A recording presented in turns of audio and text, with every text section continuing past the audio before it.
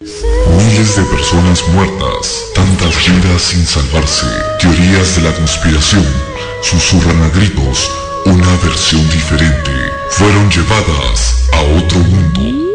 Este sábado, 8 de la noche, la teoría de la conspiración del 11 de septiembre en viaje a otra dimensión con el doctor Anthony Choi por Radio Capital 96.7. Tu opinión importa.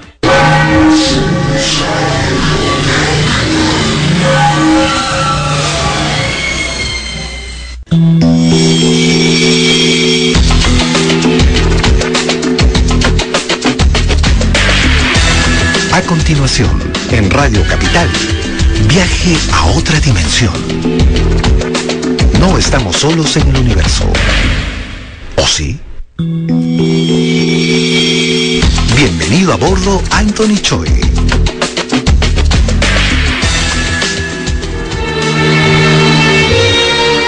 Aquel 11 de septiembre será difícil de olvidar para millones de personas de todo el mundo que como tú o como yo quedamos petrificados en las pantallas de televisión al comprobar una vez más la tragedia del terrorismo.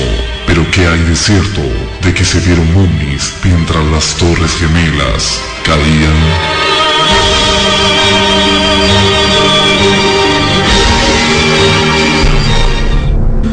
Han pasado nueve años de una tragedia que cambiaría el mundo para siempre. La versión oficial señala como único culpable al terrorismo islámico, pero ¿se nos dijo toda la verdad?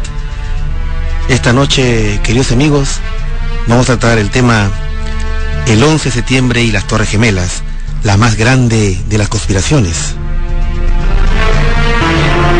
Hola, soy Anthony Choi y este es tu programa Viaje a otra dimensión a través de Radio Capital 96.7. Tu opinión importa. ¿Quién no puede olvidar o quién no puede recordar esa mañana del 11 de septiembre? Yo les confieso particularmente, estaba listándome para salir a trabajar. eh, eh, bueno, este, como ustedes saben, yo soy abogado y tenía varias diligencias en el Poder Judicial y de repente recibo una llamada telefónica de la casa de mis padres que me dicen, Anthony, prende el televisor y pon CNN que se acaba de estrellar un avión en las Torres Gemelas. Entonces yo dije, ¿qué? Inmediatamente prendí el televisor, puse CNN y sí, o sea, yo lo que estaba viendo en pantalla era el edificio del World Trade Center y, llameando. Entonces yo decía, qué casualidad, qué extraño que justo en las Torres Gemelas estrelle lo que yo pensé de una avioneta o algo por el estilo.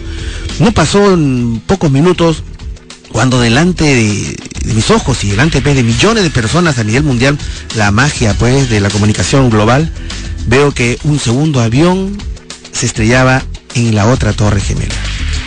Ahí yo entendí, como muchas personas entendieron a nivel mundial, que lo que estaba viendo ante mis ojos iba a ser un antes y un después. Y así sucedió. A partir de ese momento yo creo que la historia de la humanidad reciente eh, ha cambiado, habría de cambiar, y una serie de acontecimientos cual cascada se vendrían de partir de ese momento.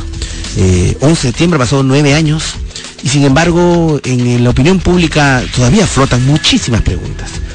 Eh, Internet está invadido, como no, de lo que se ha dado en denominar con el fin de encasillar estos temas como las teorías de las conspiraciones y como la mayor o la madre de las teorías de las conspiraciones, lo que sucedió alrededor del 11 de septiembre. ¿Qué es verdad? ¿Qué es mentira?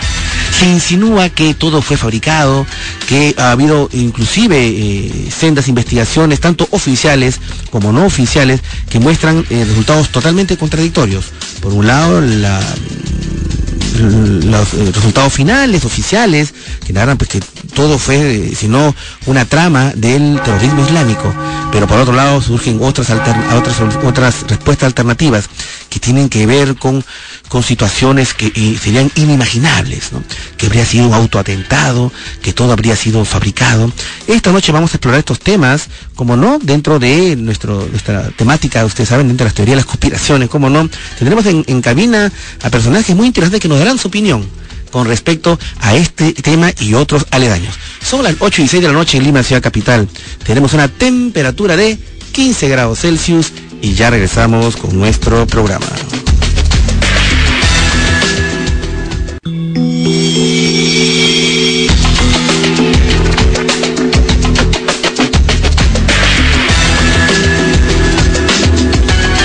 Hola, soy Cho y este es tu programa Viaje a otra dimensión a través de Radio Capital 96.7, tu opinión importa. Estamos en el episodio número 199 de nuestro programa Viaje a otra dimensión y como siempre decimos nosotros, abrimos nuestro fondo capital para que usted se comunique con nosotros y se contacte para contarnos sus anécdotas, sus experiencias, sus historias con respecto al tema de lo alternativo, el tema del fenómeno ovni, de lo paranormal. Llámenos 222-0575, 222-0580 y 222-0711 para que comparta con nosotros sus encuentros con lo desconocido. Hay muchas maneras de comunicarse con, nosotros, ya saben. Tenemos el, el, Fondo Capital, eh, ya saben, entran a www.capital.com.pe y ahí entran en el tema del día de hoy, ya saben, el 11 de septiembre y las Torres Gemelas, la más grande de las conspiraciones, ahí entren y pueden poner sus comentarios eh, sobre este tema u otros alternativos, también sus críticas, como no, para nosotros, para nosotros es muy importante sus opiniones porque tu opinión importa. Es una manera, www.capital.com.pe, entren al blog de Viaje a otra dimensión.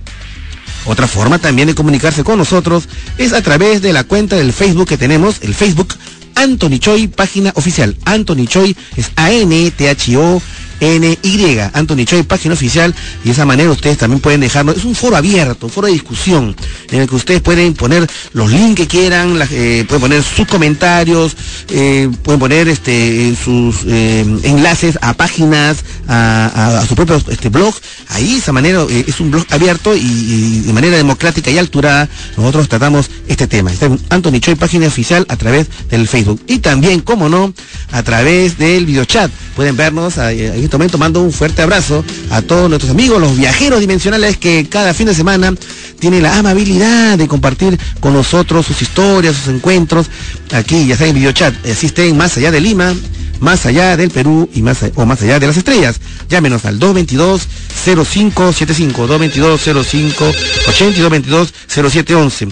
Para todos nuestros amigos que cada semana a veces nos eh, llaman eh, en lo referente a que ven cosas extrañas en los de Lima, esta noche hemos puesto en el Facebook un panorama astronómico de lo que es la noche eh, de Lima, ciudad capital. está en el Facebook, ustedes pueden entrar y ahí pueden ver de que, por ejemplo, hacia el oeste en estos momentos se encuentra la luna parcialmente cubierta eh, y encima de ella está Venus en su máximo esplendor. Ese punto muy intenso que ven en el cielo de Lima es Venus, más abajo Marte.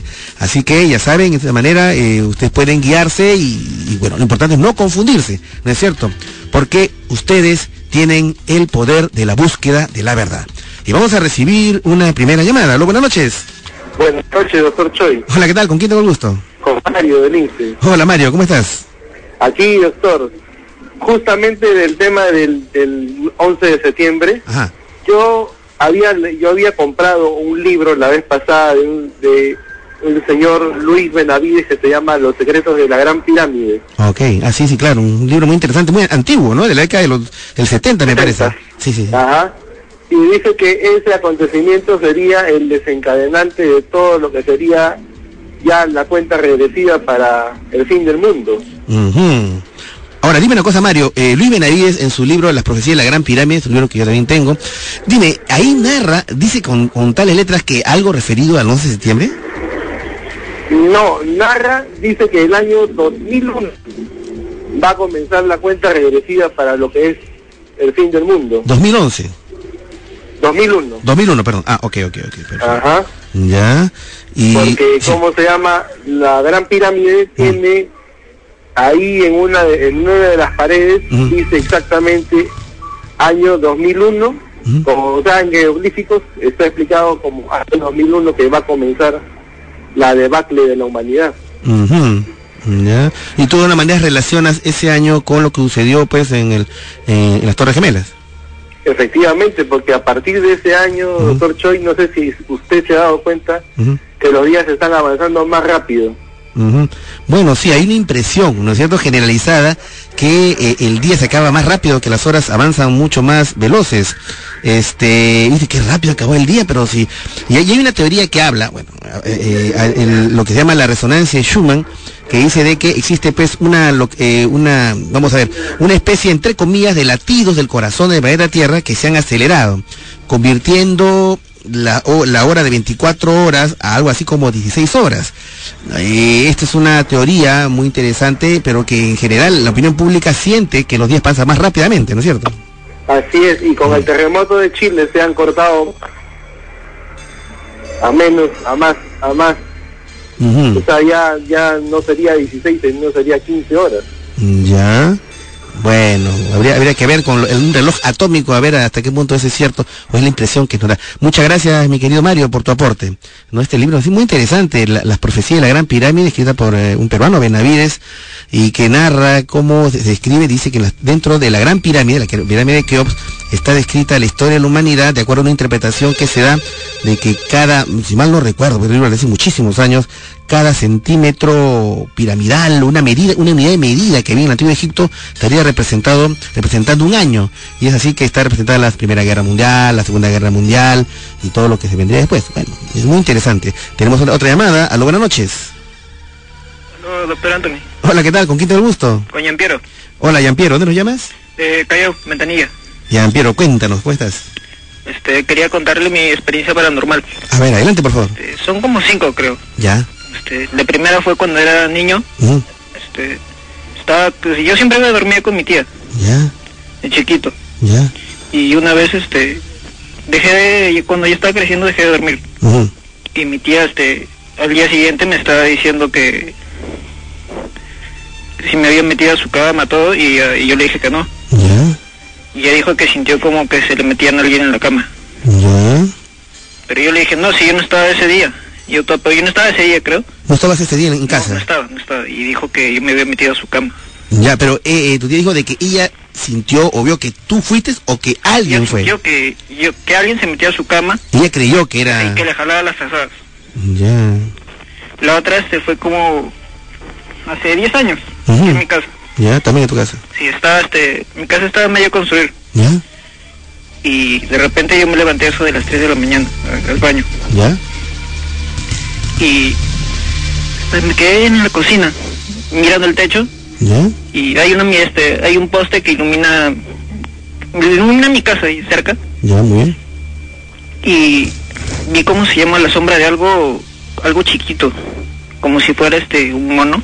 Ya y vi que la, sombra de alguien chiquito que estaba en tu cocina. Sí ya muy bien. en el techo. Ya. Estaba reflejada en mi pared pero cuando vi que, que era lo que lo reflejaba no había nada no había nada, nada, nada. Me asusté porque no podía moverme hace rato.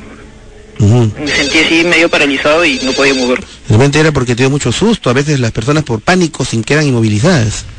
Sí, pero vino mi perro, ladró fuerte. Ya. Volví a ver la sombra y desapareció de la nada. Ya. ¿Y tú qué interpretación le das? Eh, ¿Qué ha sido qué cosa? O sea, no parecía un mono, era muy chiquito y tenía la cola corta. ¿Cola? ¿Tenía cola? Sí, tenía cola. Bueno, habría que ver este, el tema de los duendes, ¿no? Sí, este, la última fue como este, hace dos o tres meses creo, ¿Ya? con mi abuelo. Este, yo había salido a comprar pan. ¿Ya? Vengo y le digo, este, ya compré, ya compré abuela, aquí está. Ya. Y mi abuela no me hacía caso. Ya, y ella se fue este como al baño. Muy bien. Y mi papá me preguntó dónde está la abuela. Me decía al baño, le dije. Ya. Pasó un rato, tocaron la puerta, fui a abrir y era mi abuela. ¿Que recién entraba a la casa? Recién entraba a la casa. Entonces, ¿quién fue que entró al baño? No, pero y yo le pregunté, ¿que no estabas en el baño? Y ella me dijo, no, yo salí a comprar después de que tú te habías ido. Entonces, ¿quién fue la que entró al baño? no, porque yo la vi a espaldas. Claro, la viste espaldas. Claro, y no estaba, y no me hizo caso y se fue al baño. Mm. Y yo fui a ver el baño y no había nadie y para salir de mi casa ha tenido que pasar por enfrente de mí para poder verlo. Claro, lógicamente. Bueno, siempre se habla de que ha, habido casos de personas que, entre comillas, penan de vivas, o sea, penan vivas.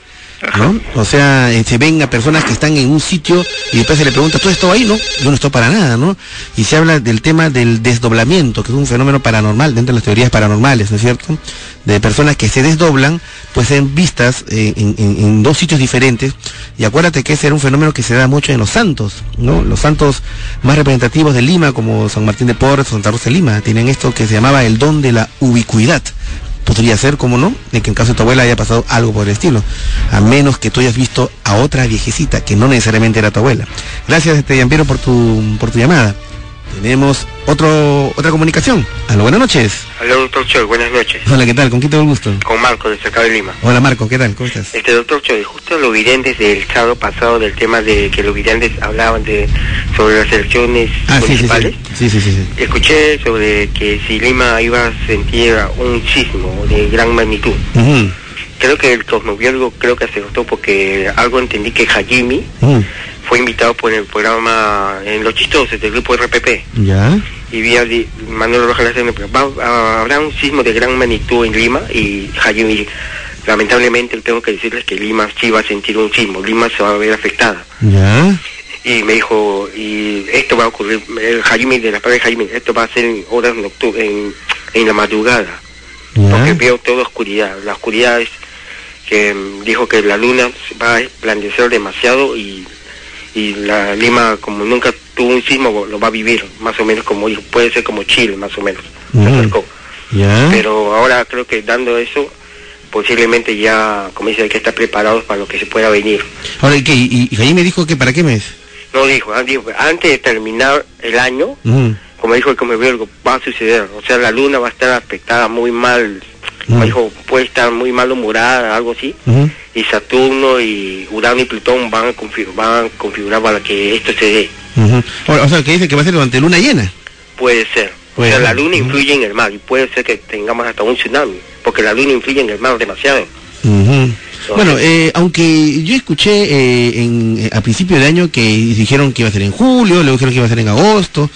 Lo que sí es cierto, pues como tú sabes, es que desde el punto de vista científico todavía no se ha podido verificar la predicción de sismos, ¿no? Aunque ha habido casos puntuales, ¿no? En, China hubo una predicción de sismos, curiosamente los científicos chinos y, determinaron más o menos la, fecha de un sismo que ocurrió en base al comportamiento de los animales, ¿no? O sea, que sabes que los animales se comportan ya de manera distinta, ¿no? Claro, los animales son los primeros los que sienten eso. Los animales, sea perro o un gallo, saben lo que se puede venir. Ellos son los mm. primeros que sienten. Bueno, yo te cuento así, como verdad que me está acordando contigo, este eh, Marco, eh, yo conversé con un señor hace ya algún tiempo, hicimos un programa el año pasado de un señor que era un ingeniero geólogo que eh, trabajaba en, en, la Junta de Asistencia Nacional, que era lo que ahora es Defensa Civil, y él, este señor, sentía en su cuerpo cada vez que iba a haber un sismo.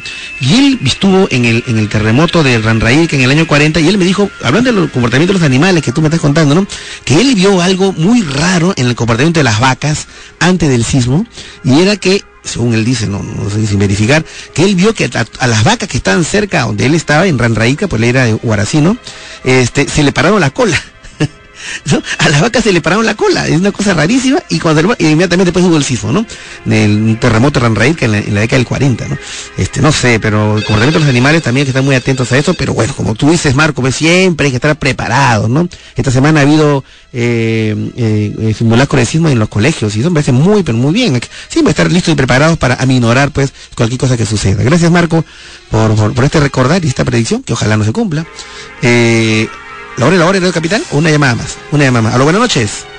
Aló. Hola, ¿qué tal? ¿Con quién te gusto? Buenas noches, Mari Carmen. Mari Carmen, ¿de dónde me llamas? De San Juan de Miraflores. Cuéntanos, Mari, ¿cómo estás? Quisiera contar una historia. Eh, lo que sucede en mi casa es lo negativo. Caramba. En diversas ocasiones que vienen otras visitas y mis primos incluso tienen este don de estas personas que pueden ver ah, ánimas y esas cosas. Eh, ya en diversas ocasiones ha sucedido de que en mi casa siempre ven a un hombre subiendo las escaleras. Y anteriormente teníamos una mascota que estaba en el tercer piso. Y eso fue en una reunión de cumpleaños de, una de mi mamá. Entonces todos subieron porque pensaron que quizás era un ladrón. Y vieron a un hombre, o sea, como las casas están juntas, vieron un hombre que subía a la otra casa. Entonces siguieron buscando y no, no había nada. Y eso pasa en diversas ocasiones. Siempre ven a un hombre caminando. ¿Y ese hombre cómo es, más o menos? Es un hombre, bueno, según lo que tengo entendido, alto, fornido, ¿no? y, y, siempre pasa eso en mi casa. Incluso, o sea, hay personas, tengo amigas, ¿no? Que dicen, no, no quiero subir a tu, segundo piso, tercer piso, porque veo cosas y algo así. Ah, solamente pasa en el segundo y tercer piso, no en el primero. Sí, pero siempre, siempre se ha, visto cosas. Incluso mi hermano una vez, como a las 3, 4 de la mañana, y mi hermano siente y percibe bastante esas cosas, pero a veces prefiere no hacerle caso y me dice que puede ser mi imaginación y esas cosas. Mi hermano estaba saliendo del baño y vio una, vio una sombra negra que se acercaba hacia él y mi hermano que no tuvo miedo se acercó para tocar y no había nada. O sea, lo enfrentó prácticamente. Lo enfrentó, mi hermano sí lo enfrentó. Ya, ya, No sé, esas cosas siempre pasan en, mi casa. dime una cosa, eh, ¿no saben por qué? ¿Es una casa eh, que ustedes la construyeron, la compraron ya hecha? Sí, exacto, claro que sí, la construyeron. Nunca, o sea, alguien de la casa se ha ido ni nada. ¿No haya fallecido? No, para nada, para nada. ¿Sobre lo que construyeron, un antiguo cementerio? No, según lo que tengo entendido, para nada, pero siempre pasa eso, siempre. ¿Solamente en tu casa o en la casa, en el barrio, en la cuadra? En mi casa. Solo en, tu casa, Sí, es, algo así que se, que se siente, ¿no? Solamente lo ven, no hay otro otro tipo de fenómenos de sí, ataques. Lo ven. Incluso mi mamá una vez, eso no solamente pasa en la noche, incluso a mi mamá le pasó hace años en la mañana.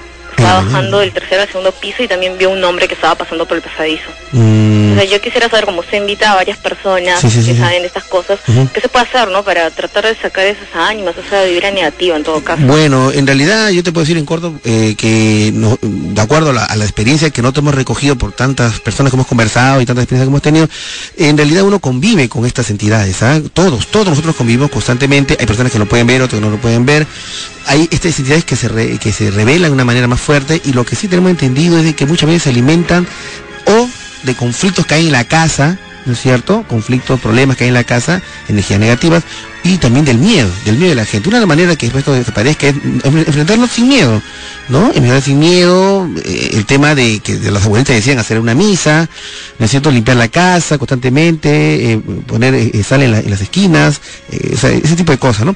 Y esto poco a poco se debe ir yendo. Si es que ya avanza a otros niveles, bueno, pues ya inmediatamente nos, nos llamas y bueno, vamos qué podemos hacer, de repente vamos a para tu casa y hacemos un tipo de investigación paranormal, ¿es cierto? Gracias Mari Carmen por tu llamada, son las 8 y 34 y ahora sí que vengan las noticias.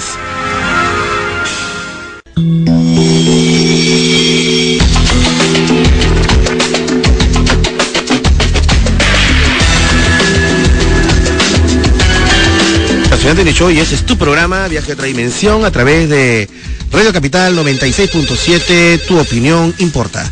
Y bueno, queridos amigos, queremos agradecer a todo nuestros oyentes, nuestros viajeros dimensionales que nos visitan a través del blog de Viaje a otra dimensión, capital.com.p, pero también, como no, los que se comunican a través de nuestra cuenta en el Facebook Anthony Choi, página oficial. En este momento tenemos, vamos a ver, 3.590 personas que están inscritas al blog de Anthony Choi, página oficial, y que de una manera, pues, de esa manera se enganchan al programa de Viaje a otra dimensión a través de Radio Capital 96.7. Tu opinión importa. Y bueno, tenemos una llamada. Aló, buenas noches. ¿Conmigo? Sí, contigo, no con ah, otra persona. Buenas noches, doctor Choc. Yo he llamado para otra cosa, pero ya que oí una historia tenebrosa que me he tenido que endilgar, espantosa, me dan miedo esas cosas, le voy a contar. Una cosa espantosa que la, la, trabó en esa cosa, pero cuénteme. Muy brevemente, doctor Choc. De todo lo felicito. Yo nunca llamo, pero ahora me ha motivado el libro ese de Rodolfo Benavides, que dicho sea paso es mexicano. ¿ah? Claro, pues es mexicano. pero le voy a contar antes, muy brevemente, que nosotros vivimos hace muchísimos años soltera y en una casa que bueno, no importa la situación, porque daba, no daba para el mar, pero era una casa antigua y la de la azotea se veía el mar, pero no tiene que ver con mi historia. Hay otra historia ahí, pero no se la voy a contar ahora. Resulta que ahí todo el mundo pensaba que teníamos un mayordomo. Incluso una vez el jardinero que teníamos que era borracho se fue y dejó en la puerta del garaje de una casa enorme. Dejó en la puerta del garaje que tenía comunicación con lo de adentro abierta y nadie se metió. Mm era un sitio feo, ¿ah? por el lado de la mar de Miraflores, que en esa época era feo, desolado. Nadie se metió y todo el mundo. Y yo un día me levanto de noche porque siento un ruido y veo sobre el patio, la ventana de mi dormitorio del patio, veo como fuego sobre el patio y varias. Fuego sobre el patio.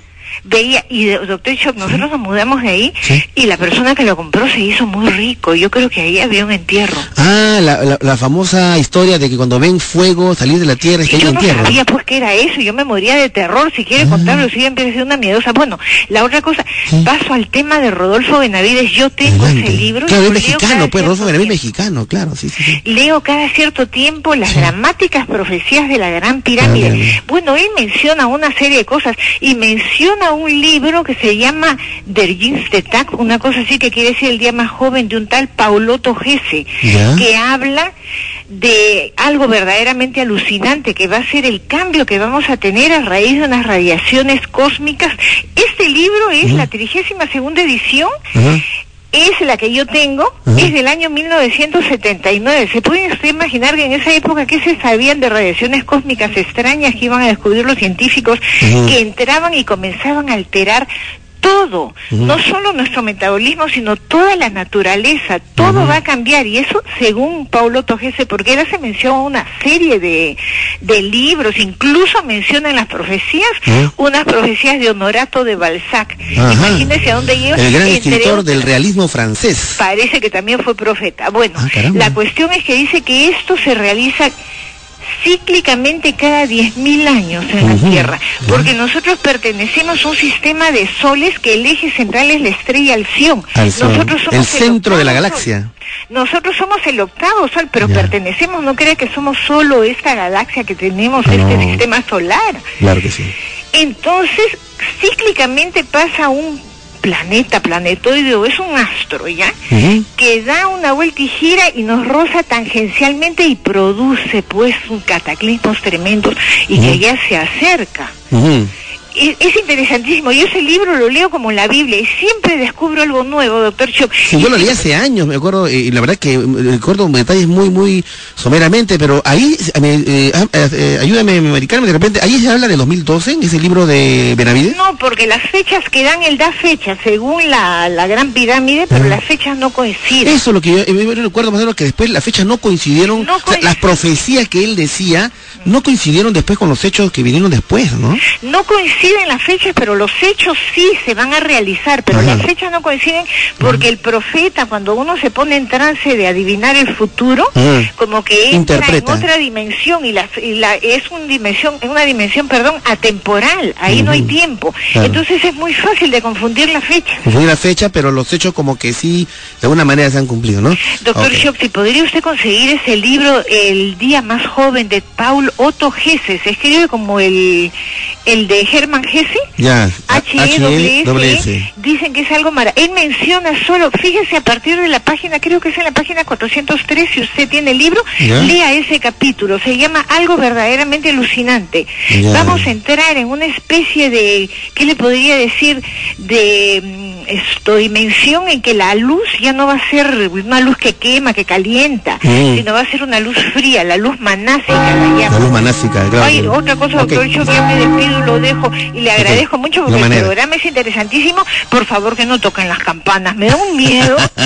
además son, tenebrosas y además algunas veces cortan las palabras. Las campanas de medianoche, del monje loco. gracias por todo y por todo lo que nos proporciona, doctor, porque la verdad que su programa es interesantísimo. Muchas gracias, Maricarmen a ustedes más bien que son la materia prima del programa Viaje a otra dimensión. Y bueno, sí es cierto, eh, dentro de lo que se habla de, las teorías de 2012 se hablan de esta alineación que hay del planeta Tierra con respecto al Sol y del Sol con respecto al centro de la galaxia, ¿no es cierto? Y que este, este, este alineamiento iba a ocasionar una serie de cambios eh, eh, en la Tierra a raíz de que iban a hablar de este rayo sincronizador que viene de Alción, el centro de la galaxia, lo que sí es cierto, y es una cosa muy interesante, es el tema de la actividad solar, ¿no? cierto? La NASA, a través de varios eh, satélites, cinco satélites, ha determinado más o menos que eh, va a haber cierta actividad solar inusual eh, hacia el 2012, ¿no? Y que existe la posibilidad de que haya algún tipo de alteración con respecto a, las telecomunicaciones, ¿no es cierto? O sea, que de alguna manera se corten o se alteren las telecomunicaciones a nivel mundial. No se sabe todavía cuál es el grado, el nivel de gravedad que esto puede ocasionar, pero lo que sí es cierto es que la NASA se ha pronunciado al respecto y ha mencionado esta actividad inusual. De ahí ya pueden surgir muchas especulaciones. Pero curiosamente esto va a ser hacia diciembre de 2012, ¿no? Hay una coincidencia Bueno, lo dejo ahí. Son las 8.47 de la noche en Lima, ciudad capital. Tenemos una temperatura de 15, 14 grados Celsius. Acá nada más. Y ya regresamos con nuestro programa.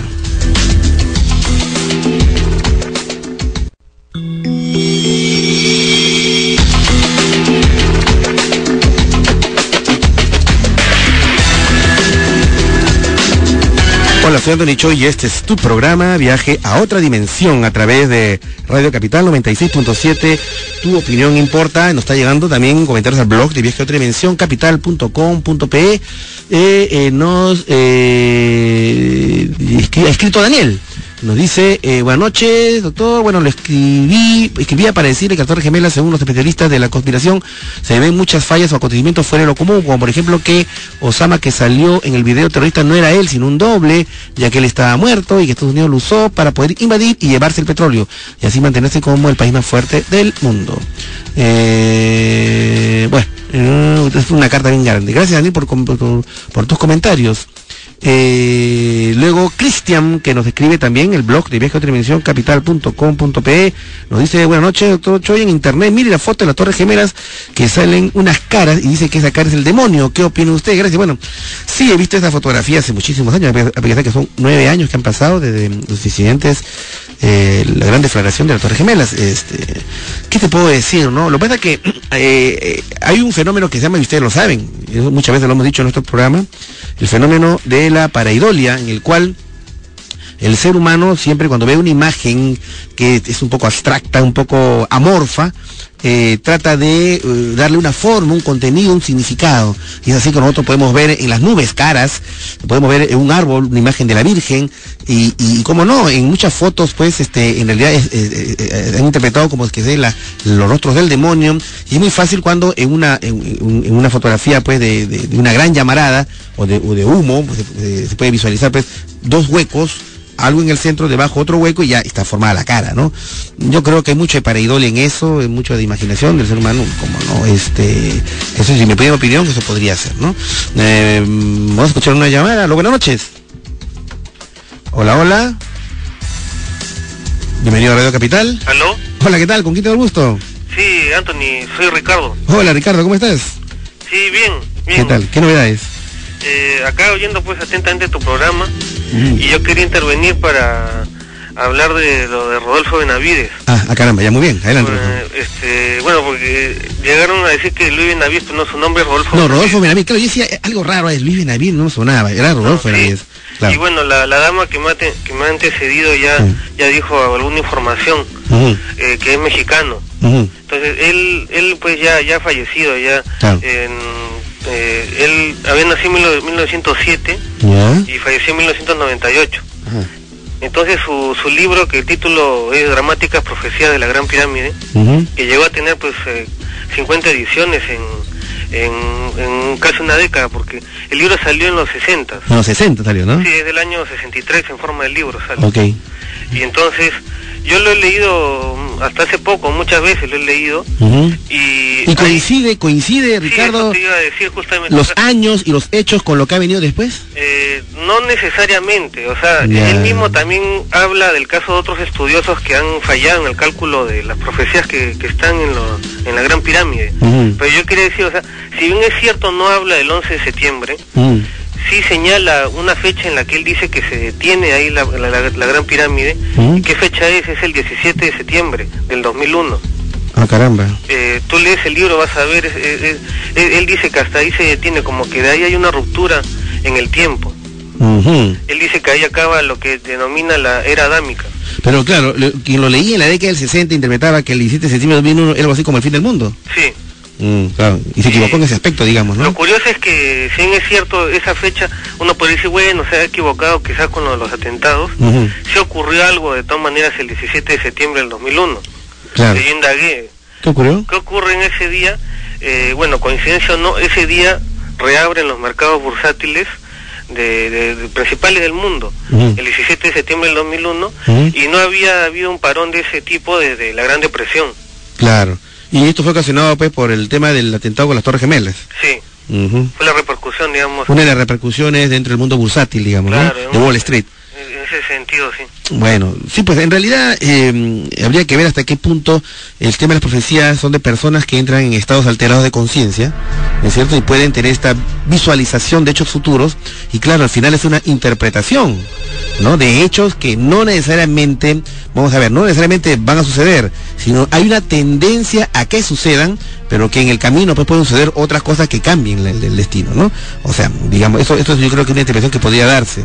O sea, no es que ya esté dado todas las cosas, sino dependerá de muchísimos factores, entre otros de la decisión humana, el libre albedrío humano, ¿no? Y ese, es, un, es, un, concepto de esperanza con respecto a, lo que pueda suceder en el futuro, que nosotros podríamos cambiar si es que se genera una masa crítica, ¿no? De cambio, ¿no es cierto? Gracias, eh, mi querido Ricardo, por tu llamada. Tenemos otra llamada. Hola, buenas noches. ¿Aló? Hola, ¿qué tal? Eh, ¿Con quién tengo el gusto? Con Carlos. Hola, Carlos, ¿cómo estás? Eh, la Victoria. Claro que sí. El volumen. baja el volumen para que no, no se junte con, con otra cosa. Muy bien, estamos con el tema de esta noche, 11 de septiembre, y las Torres Gemelas, la más grande de las conspiraciones. Hola, ¿qué tal? Sí, cuéntanos, por favor. Eh, buenas noches. Buenas noches, Carlos, ¿cómo estás? Buenas. Eh, en realidad, este, eh, en este punto, en estos aspectos, la gente está informada con ciertos libros de ciertas personas que han estudiado y han analizado. De lo que los científicos norteamericanos habían hecho con medidas, ¿no? Matemáticamente, números que sacaban años, fechas, mes, el mes e inclusive hasta el siglo. Eh, lo que es en la pirámide de Egipto. No es por jeroglíficos como un oyente llamó. Eh, decimos la cosa así. Eh, entonces, por números. Entonces, este, por ejemplo, medían, medían este, un pequeño espacio que estaba pegado a un pasadizo en una pared. y, solamente podía caber una sola persona. Entonces medían eh, los, los, bueno, se sabe que estamos en, tercera dimensión, ¿no? Y entonces sacan la medida de tercera dimensión, bueno, sacan los tres lados, la medida de los tres lados, lo suman, lo multiplican, lo multiplican, saben lo que hacen, ¿no? Entonces, y sale, de cada lado sale 6, 6, 6. Ahí está implicado también el 666 y lo, lo, lo avisaron, o bueno, mm. había... Claro, tú estás refiriéndote al libro de Benavides de la, de la gramática de la Gran Pirámide. Claro, yo lo he leído. Ah, ok, o sea, ¿en eso te refieres? Ya, okay. lo, suman, lo multiplican, lo restan, lo dividen, Creo que se basan ellos eh, en una medida egipcia antigua, si mal no recuerdo, que es la pulgada piramidal o algo por el estilo? Ah, le llamaron, le dieron ese nombre porque usted sabe que en el mm. juego de números comienzan a sacar todo tipo de deducciones para hacer que esta cosa sale. Ya, ok. Entonces, eso es lo que hicieron los científicos norteamericanos. Comenzaron a, a, jugar con los números y de tal manera comenzaron a coincidir. De manera, por ejemplo, hay una parte que se usó un escalón, y ese escalón tiene una medida, lo comienzan a multiplicar, sacan la medida, el pasadizo tiene no sé cuántos metros de medida, pum, sale, pum, tal año, tal año. Una serie de cálculos matemáticos. Cálculos matemáticos, está, todo está hecho por cálculos de la Segunda Guerra Mundial y todo lo demás. En el caso de las Torres Gemelas, también sale también en las Gran Pirámides. También sale, usted sabe que yo soy, este, ha sido mm, el lector de Alfie Omega, usted lo sabe. Y bueno, este, ahí hace mucho tiempo ya había, leído que iba a haber esas cosas. Inclusive yo en el año 84 yo sabía que eh, muy pronto se iba a suceder un gran accidente en el cielo que fue el, el, Channel. El, el Challenger el transbordador espacial que explotó. Sí, sí, sí, yo lo leí, yo lo leí en uno, de los de los escritos de Alfie Omega. Decía, un, va a haber un gran accidente en el cielo y todo el mundo se conmoverá.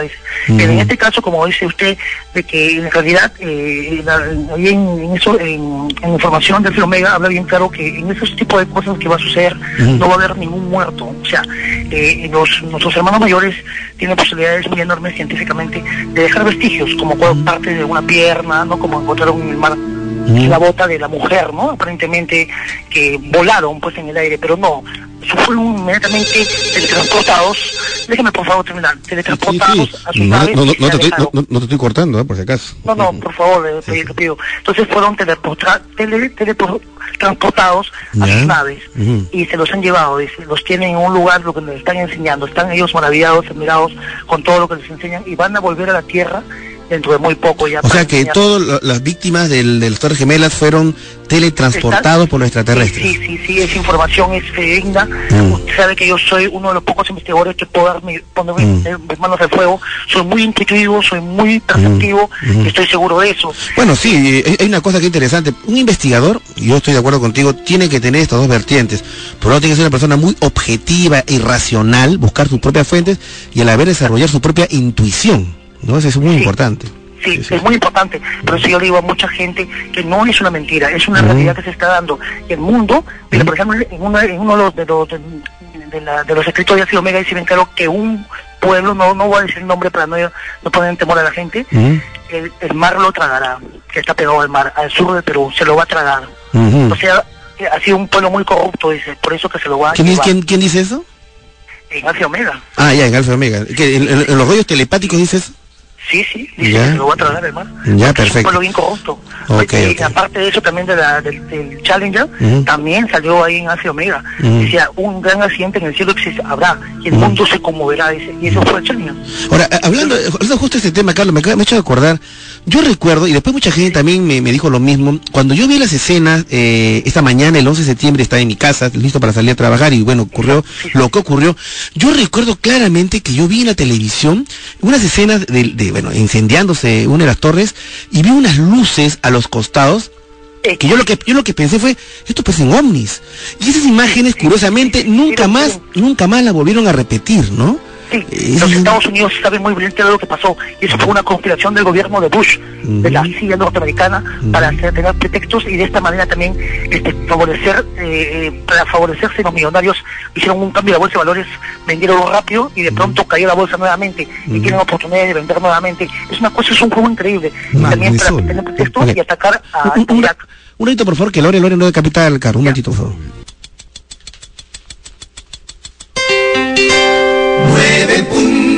9 en punto de la noche. Bueno, Carlos, para que concluyas.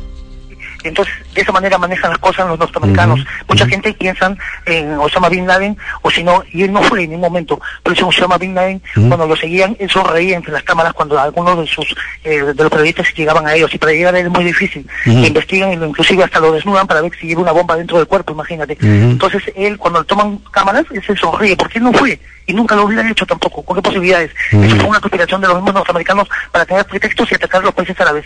Los judíos están involucrados en estas cosas, y ellos saben bien claro, es una conspiración mundial entre judíos norteamericanos y árabes, de ciertos países de, los árabes, porque se, se, a eso los árabes para que se inmolaran y sus familias quieren con grandes millones de dólares. Y ahí estuvieron también trabajando algunos árabes, porque la porque el edificio pero ya terminó, el edificio de la Torre Jiménez estaba contra choque de todo tipo de aviones. Sí, hay justo un informe, y eso repito, lo digo, hay un informe que se hizo eh, eh, del físico Steven Jones de la Universidad Brigham Young, que conjunto con otros 50 colegas, que concluyó que la explicación oficial para el derrumbe de los edificios del Centro Mundial de Comercio World Trade Center resulta inverosímil para las leyes de la física, ¿no? Que era imposible era imposible, de acuerdo a este informe de este físico Steven Jones de la Universidad Brigham Young de Estados Unidos, que era imposible de que las torres gemelas se derrumbaran solamente por el choque de los, aviones, ¿no? Que era imposible que, salvo que hubiera sido a, través de una demolición controlada. No, claro, es un, es, un, es un tema muy controversial, lógicamente, pero hay muchas aristas que a lo largo de esta noche estaremos conversando. Gracias, Carlos, por tu comentario. Eh, ¿Qué hacemos, eh, Jonathan? Otra llamada. buenas noches. Hola, buenas noches. Hola, ¿qué tal? ¿Con quién tengo el gusto? Con Gabriela Artica de San Luis. Hola, Gabriela, ¿cómo estás? Le que le estaba llamando hace tres domingos más o menos habló acerca del sinocéfalo. Ah, sí, el programa que hicimos, claro que sí. Sí, este, yo le quería decir que yo soy de de Jaujan, del distrito de Guamalí, más o menos. Ya, muy bien. Exacto. Ok. Y entonces, acerca del sinocéfalo, nosotros tenemos una versión y, y en el pueblo donde vivo le llaman el cárcar.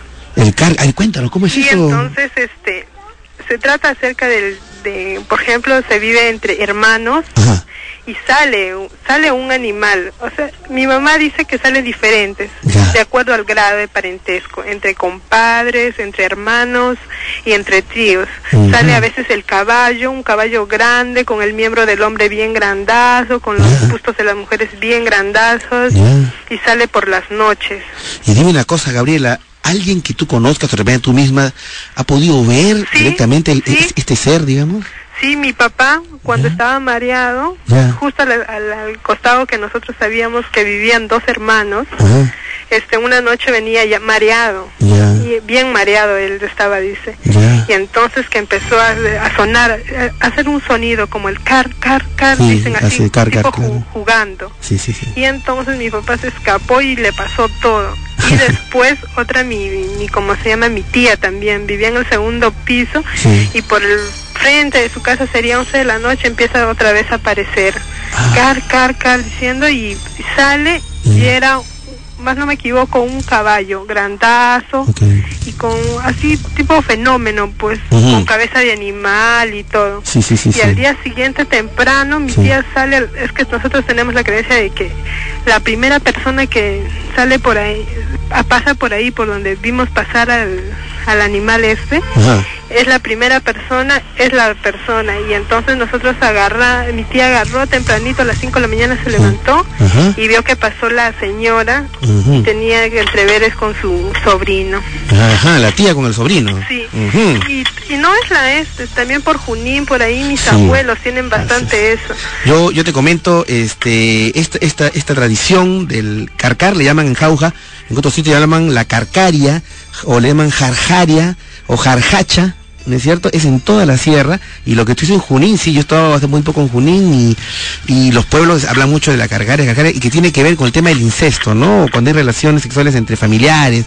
Muchos dicen que los sociólogos dicen que no, esos son inventos del pueblo para evitar de que haya relaciones impropias dentro de la comunidad una, leyenda para evitar que haya esta, este, este, como una prohibición, ¿no es cierto?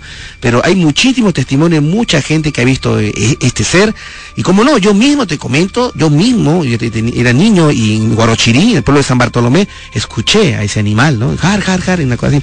Y eso, bueno, hicimos el tema del sinocéfalo, uno de los grandes personajes de nuestro programa Viaje a otra dimensión, en, cuando hicimos el ataque del monstruoso sinocéfalo, una historia muy interesante que el Proyecto 33, nuestro grupo de investigación paranormal, desarrolló en una casa en Miraflores. Muchas gracias, mi querida Garela, por tu, por tu historia, que, contribuye al debate aquí en Viaje a otra dimensión. Y ahora sí, que vengan las noticias.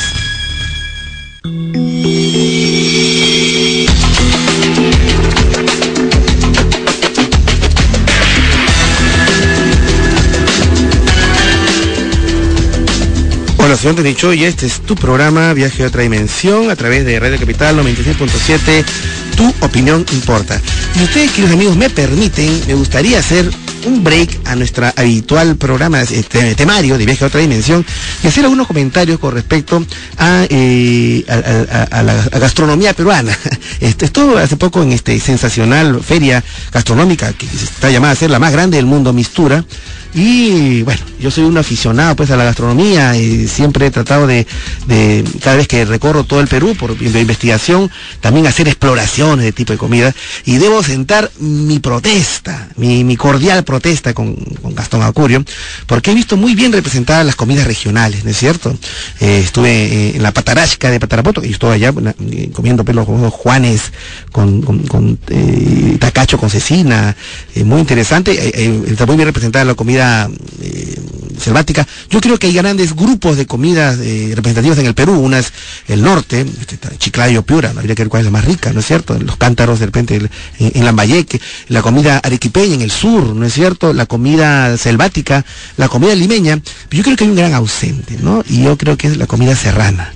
¿no? la comida serrana y sobre todo una zona que no está representada y esto lleva varias misturas que no está representada y es la gastronomía de la zona del Valle del Mantaro, la gastronomía de Huancayo, ¿no es cierto? Muchos consideran que la mejor pachamanca es la de la de Huancayo, o no irán la de Gualeguánuco o la de Guarochirí, pero la de Huancayo. Hay que entender que la Valle de Mantaro es una, de las despensas más importantes de, Lima, ciudad capital, ¿no? Y que ha aportado pues, riquezas gastronómicas muy interesantes. Una ya la Pachamanca, como dicen que las mejores truchas son la de Ingenio, este, no sé, el caldo verde, los caldos del, del Valle de Mantaro, y no está representado en Mistura ninguno de los restaurantes, restaurantes muy interesantes como Huancahuasi, etcétera. ¿no? Así que es mi, protesta, ¿no? ¿Cierto? Solidaria con el Valle del Mantaro, este, que su gastronomía también, como no, debe estar representada en las próximas misturas. ¿ah? Así que mi cordial protesta. Y si quieres seguimos hablando de comida, pero mejor paro ahí, porque todavía es un poco temprano para mí hablar de estos temas un poco escabrosos de la comida peruana, ¿no? La mejor comida del mundo, ¿ah? La mejor, lejos, lejos, mejor que la china, la francesa o la indonesia. Ahora sí, cierro paréntesis regresamos a nuestro temario habitual de lo desconocido y recibimos la siguiente llamada. Aló, muy buenas noches. Hola, ¿qué tal? ¿Con quién el gusto? Luis de la Perla. Hola Luis, ¿cómo estás? Cuéntanos, por favor. Aquí, eh, doctor, eh, quería también confirmarle referente a lo que hubo de las torres. Mm, adelante. Eh, se ve un platillo volador. No sé si eh, usted lo llegó a ver cuando pasaron en la televisión. La primera vez sí, cuando pasaron las primeras imágenes transmitidas por la CNN. platillo volador. Yo, lo que vi fue unos puntos luminosos al costado de las Torres Gemelas y curiosamente esas imágenes no hubieron que ser repetidas. Claro. Sí, sí, sí. Pero hay videos, mm. ¿no? Que son clandestinos, Ajá.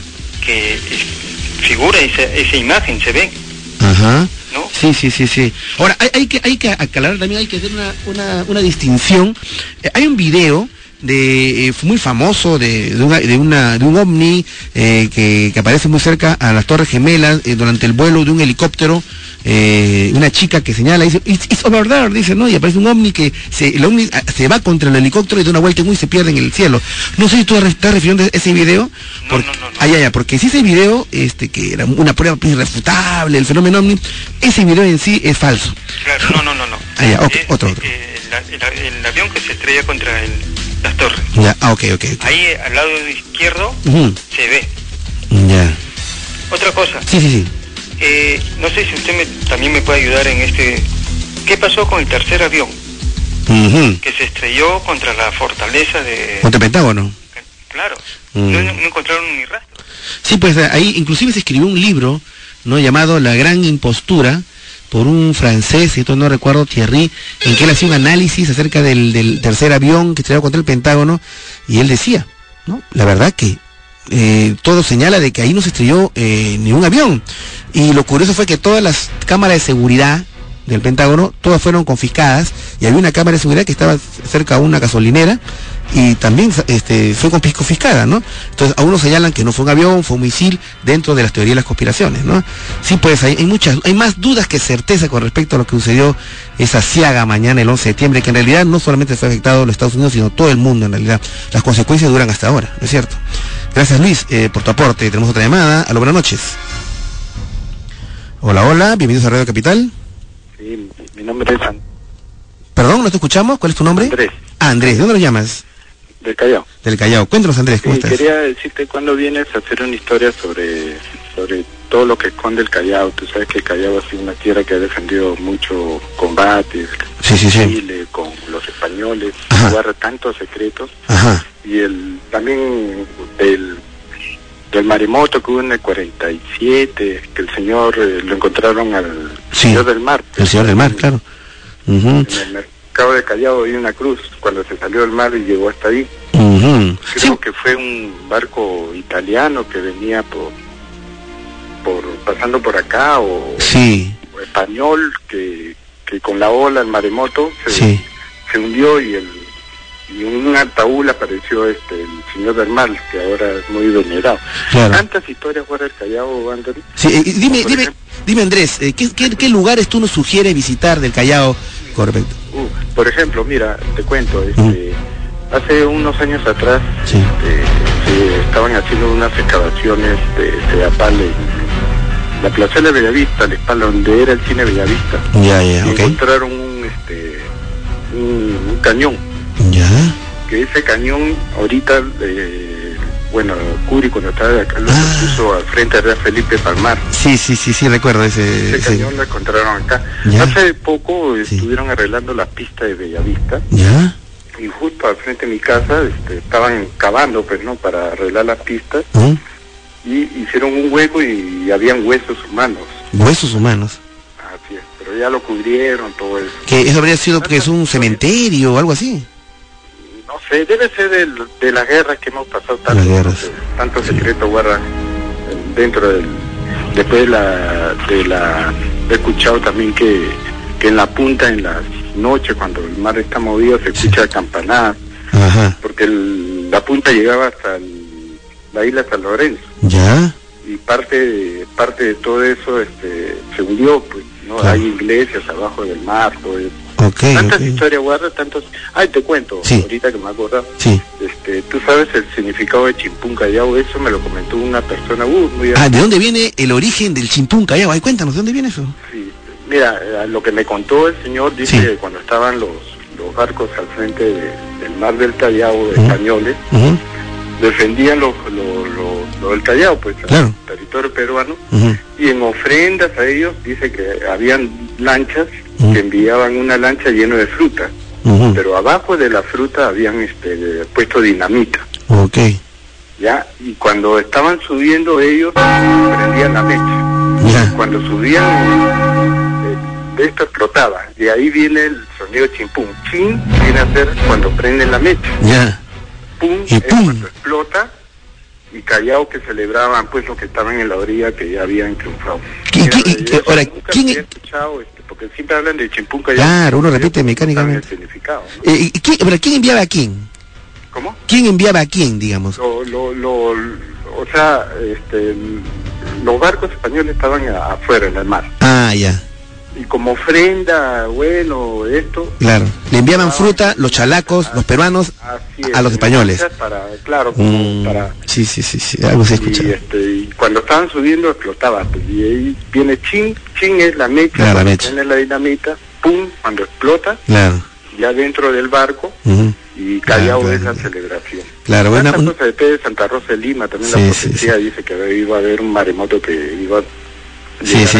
Bueno, en realidad, este, eh, el maremoto, pues, de, de, de, de, 1870 y tantos, que dio origen al cielo Milagros, inclusive, llegó, pues, hasta, hasta lo que es el mercado del Callao, en la calle Colón, ¿no es cierto? Ahí que hasta ahí llegó un barco, un barco quedó ahí, por eso que está la, famosa cruz, ¿no? No, sí, el Callao es, una, es una, el puerto hay muchos, muchas zonas eh, y muchos misterios. Este, no te hemos estado hemos hecho dos programas en el, en el Real Felipe, como tú recordarás, y hay un tema ahí, pues, de, hacer algo en la isla de San Lorenzo, ¿no? Nos han dicho muchas veces, pero bueno, habría que pedir los permisos correspondientes a la manera de guerra, ¿no?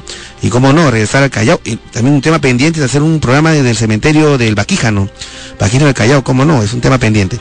Gracias Andrés por los aportes. Son las 9 y 20 de la noche en Lima, ciudad capital. Tenemos una temperatura de 14 grados Celsius y acá mi, productor eh, Talibán Rodríguez, este, Telemán Germán, ya regresamos con nuestro programa.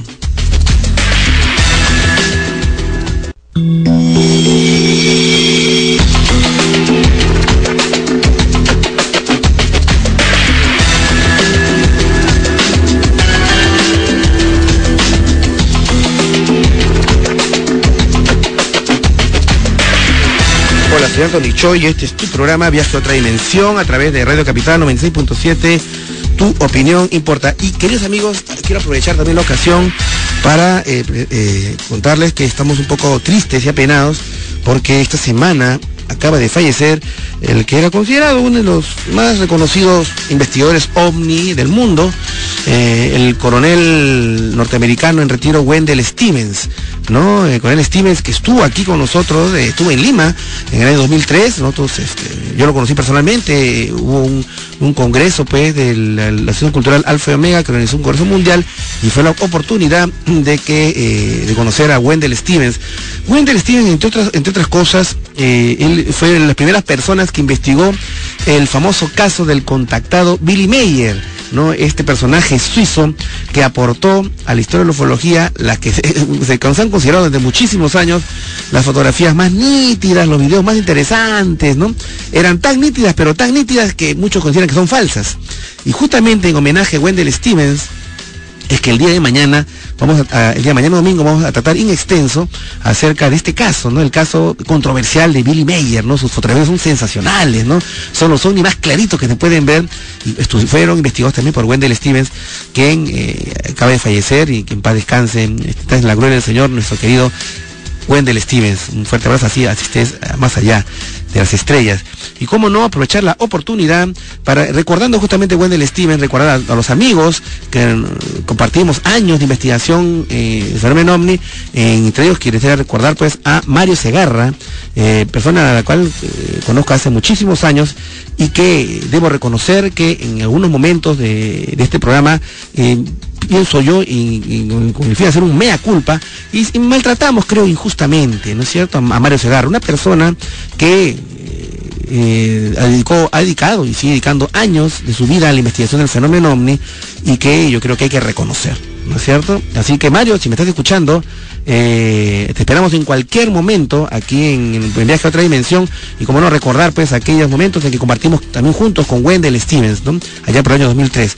Así que quiero reconocer públicamente este, este error que para mí de, digamos, de tratar, yo creo que injustamente, ¿no? A, una persona que ha dedicado años de su vida a investigar fenómeno OVNI. Así que Mario, eh, te esperamos en cualquier momento en Viaje a otra dimensión. Eh, ¿Tenemos una llamada, me parece? Una llamada. Aló, muy buenas noches. Aló. Hola, ¿qué tal? ¿Con quién tengo el gusto? Con este, Miguel. Hola, Miguel. Cuéntanos, por favor, ¿cómo estás? Este, ahí bien, bueno, muy interesante su programa de, esta noche. Eh, en una llamada anterior usted mencionó lo que me parece interesante. ¿Sí? Dijo de que hay un video que circuló sobre este un avistamiento ovni de un helicóptero. Sí. Que hay un ovni que aparece atrás de un edificio. Sí, sí, sí. Y ese ovni se dirige hacia el helicóptero. Sí. Bueno, usted dice que es falso Sí, es lamentablemente falso. Te comento, este video llegó a Lima, me acuerdo de un, investigador también, que tiempo, que años que no lo veo, hablando de grandes amigos, que años que no veo, estamos hablando de Mario Segarra, Marco Ríos, un investigador peruano que reside en Estados Unidos, trajo este video sensacional, una de las primeras personas que tuvo la copia fui yo. Se ve, claro, ese video en que se ve a una muchacha alemana que ha tomado un helicóptero, está paseando por las Torres Gemelas, de repente, como, como tú dices Miguel, sale el ovni, eh, de las Torres Gemelas, muchos dicen que justamente del, piso en que chocó la Torre Gemela, bueno, y el, el ovni se acerca hacia el, hacia el helicóptero y faltando 20 metros hace una vuelta en U, ¿no? Y el helicóptero empieza a tambalear. Empieza a tambalear. Y, y, se eleva en el cielo, y sensacional, pues, ¿no? Yo hice una investigación al respecto de eso, porque siempre se hablaba de que la, la, la, la chica solamente se identificaba como Bárbara S. Luego hice esta investigación, yo tomé esa iniciativa, bueno, empecé a investigar, a, contar amigos, entré a internet también, como no, y encontré una página de una modelo, una modelo neoyorquina llamada Bárbara Bárbara Sicuranza. Y la foto era la misma, la cara de la que aparece en el video. Entonces yo entro en el currículum de esta modelo y en el currículum dice, y participó en un video promocional de las Torres Gemelas, el de las Torres Gemelas, y, ahí me enteré de que este era un video hecho por una cadena, una, un, canal de televisión de cable llamado Sci-Fi, ¿no? Ah. Que hizo un, un video promocional muy bien hecho, ¿ah? muy bien hecho. Ah, y, y, eso lo colgaron y bueno, y pasó pues como que fuera real. Eh, luego, este me enteré en otro, eh, haciendo, ahondando más en la investigación, que esta Bárbara Sicuranza era esposa del baterista principal del grupo Blondie, ¿no? ¿Tú recuerdas el grupo Blondie de los 80, ¿no? La chica, esta chica Blondie cantante. Y en la página web del grupo Blondie aparece este señor esposo de Bárbara Sicuranza que dice, sí pues mi esposa Bárbara que tiene muchos problemas por el video, que esto, que lo otro. Entonces confirmado pues. Eso yo lo publiqué y lo difundí en internet y mi gran amigo eh, eh, Jaime Maussan de México me dijo que cómo es posible que diga de que es falso, que yo no tengo la... Pero digo, mira, están estas dos páginas web y todo eso. Y lo que pasa es que él había difundido en México de que esto era real. Entonces está chocando, ya que mucha gente lo dijo que es real. Entonces, así, lamentablemente me dijo como, hoy día acabo de recibir, este Miguel, un, comentario de un, de un, de un viajero mencional diciendo, ¿cómo es posible que yo diga que el hombre de Kibes es falso? Bueno, que investigue, que investigue, ¿no? yo, que ser objetivo, pues, claro, obviamente. Yo no digo de que, mira, yo, yo digo esto, ¿no? El fenómeno es real, ellos están entre nosotros, pero lo que es verdad es verdad y lo que es mentira es mentira, pues y lo que es falso es falso, tal cual, no hay otra, no hay otra. Gracias Miguel este, por tu comentario y por, por, dar pie para yo hacer este comentario a su vez. Tenemos otra llamada, a lo buenas noches. Muy buenas noches, Anthony. Hola, ¿qué tal? ¿Con quién te gusto? Con Rafael. Hola, Rafael, ¿cómo estás? ¿De dónde lo llamas? Del INSE. Contra, Rafael, ¿qué tal? Bueno, quería comentar sobre lo que han hablado la mayoría de los oyentes sobre el tema del 11 de septiembre. Mm hay el oyente Carlos dice muchas cosas este, ciertas, ¿no? Pero mm. también hay que tener un poco más de tino, creo, ¿no? A ver. Porque dice este nivel esto del, alfa y omega, ¿no? Hay que tener cuidado con las sectas, ¿no? Este, Para mí alfa y omega son incautos, ¿no? La mayoría de la gente que está ahí, ¿no? Porque ya. son esto los rollos telepáticos, ¿no? Mucha, mucha, este, muchas conjeturas ahí. Muchas conjeturas, ya. Ahora, con respecto al 11 de septiembre, sí. Eh, hay que reconocer dos cosas, ¿no? Que el 11 de septiembre está reconocida la, la destrucción de las torres, la base, no pudo haber sido destruida, la, ¿cómo se llama? Los cimientos, el hormigón, por un simple este, este, este choque de aviones, sino que tuvo que haber sido más bien algo como una gran este un gran derretimiento en la base por temperaturas altísimas, ¿no? ¿Ocasionado por qué? Por temperaturas altas que, ¿cómo se llama? Que han, se han deliberadamente este eh, dejado zozobrar ¿no? La, base del hormigón, de la, estructura de metal que era la más difícil de, destruir y de carcomer. Y, eso se explica porque como han venido... Mi querido amigo, un ratito a la hora, a la hora de capital, ¿ya? Quédate ahí nomás, por favor, no te muevas. 9 y 30. 9 y 30. Bueno, me, sí, me decías, este, Carlos. Sí, adelante, por favor. Sí. sí. Eh, esto de las Torres Gemelas, como dicen, obedece a una componenda, ¿no? Entre el gobierno de Estados Unidos y la monarquía se dice de Arabia Saudita, no la gente de Arabia Saudita no, sino que la monarquía, porque se dice que quería haber un golpe hace tiempo en Arabia Saudita parecido que lo que hizo el, el Ayatollah, ¿no? Khomeini y la revolución islámica en, Irán con el Shah, Entonces, los sauditas, la monarquía saudita, al estar este, amenazada, ¿no? Entonces ah. salió al a los Estados Unidos y al nuevo orden secular, ¿no?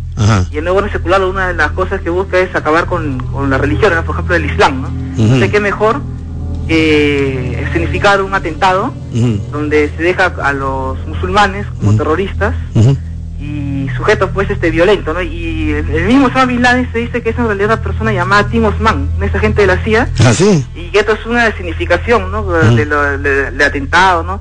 Que Bush y Osama en realidad son amigos y esto también tendría que ver mucho con la monarquía saudita, que ellos tienen negocios, los petroleros sauditas con, la familia Bush, ¿no? Y, y, estos negocios petroleros y también la presencia de las Fuerzas Armadas estadounidenses, los marines en, en, la guerra del Golfo, eh, no serían, no habrían sido bueno, muy bien vistos por los sauditas, ¿no? Y también por la comunidad árabe en general, ¿no? Entonces, para salvaguardar sus intereses y el poder que tienen. Entonces se aliaron con los Estados Unidos hicieron este, este atentado con la misma intención de destruir este el Islam y bueno, aunque yo, pero la verdad que una, religión de más de mil millones de personas como es el Islam, me parece muy, difícil que pase destruida por cosas así, pero bueno, de todas maneras hay muchas dudas, muchos claroscuros en, en, este tema, ¿no?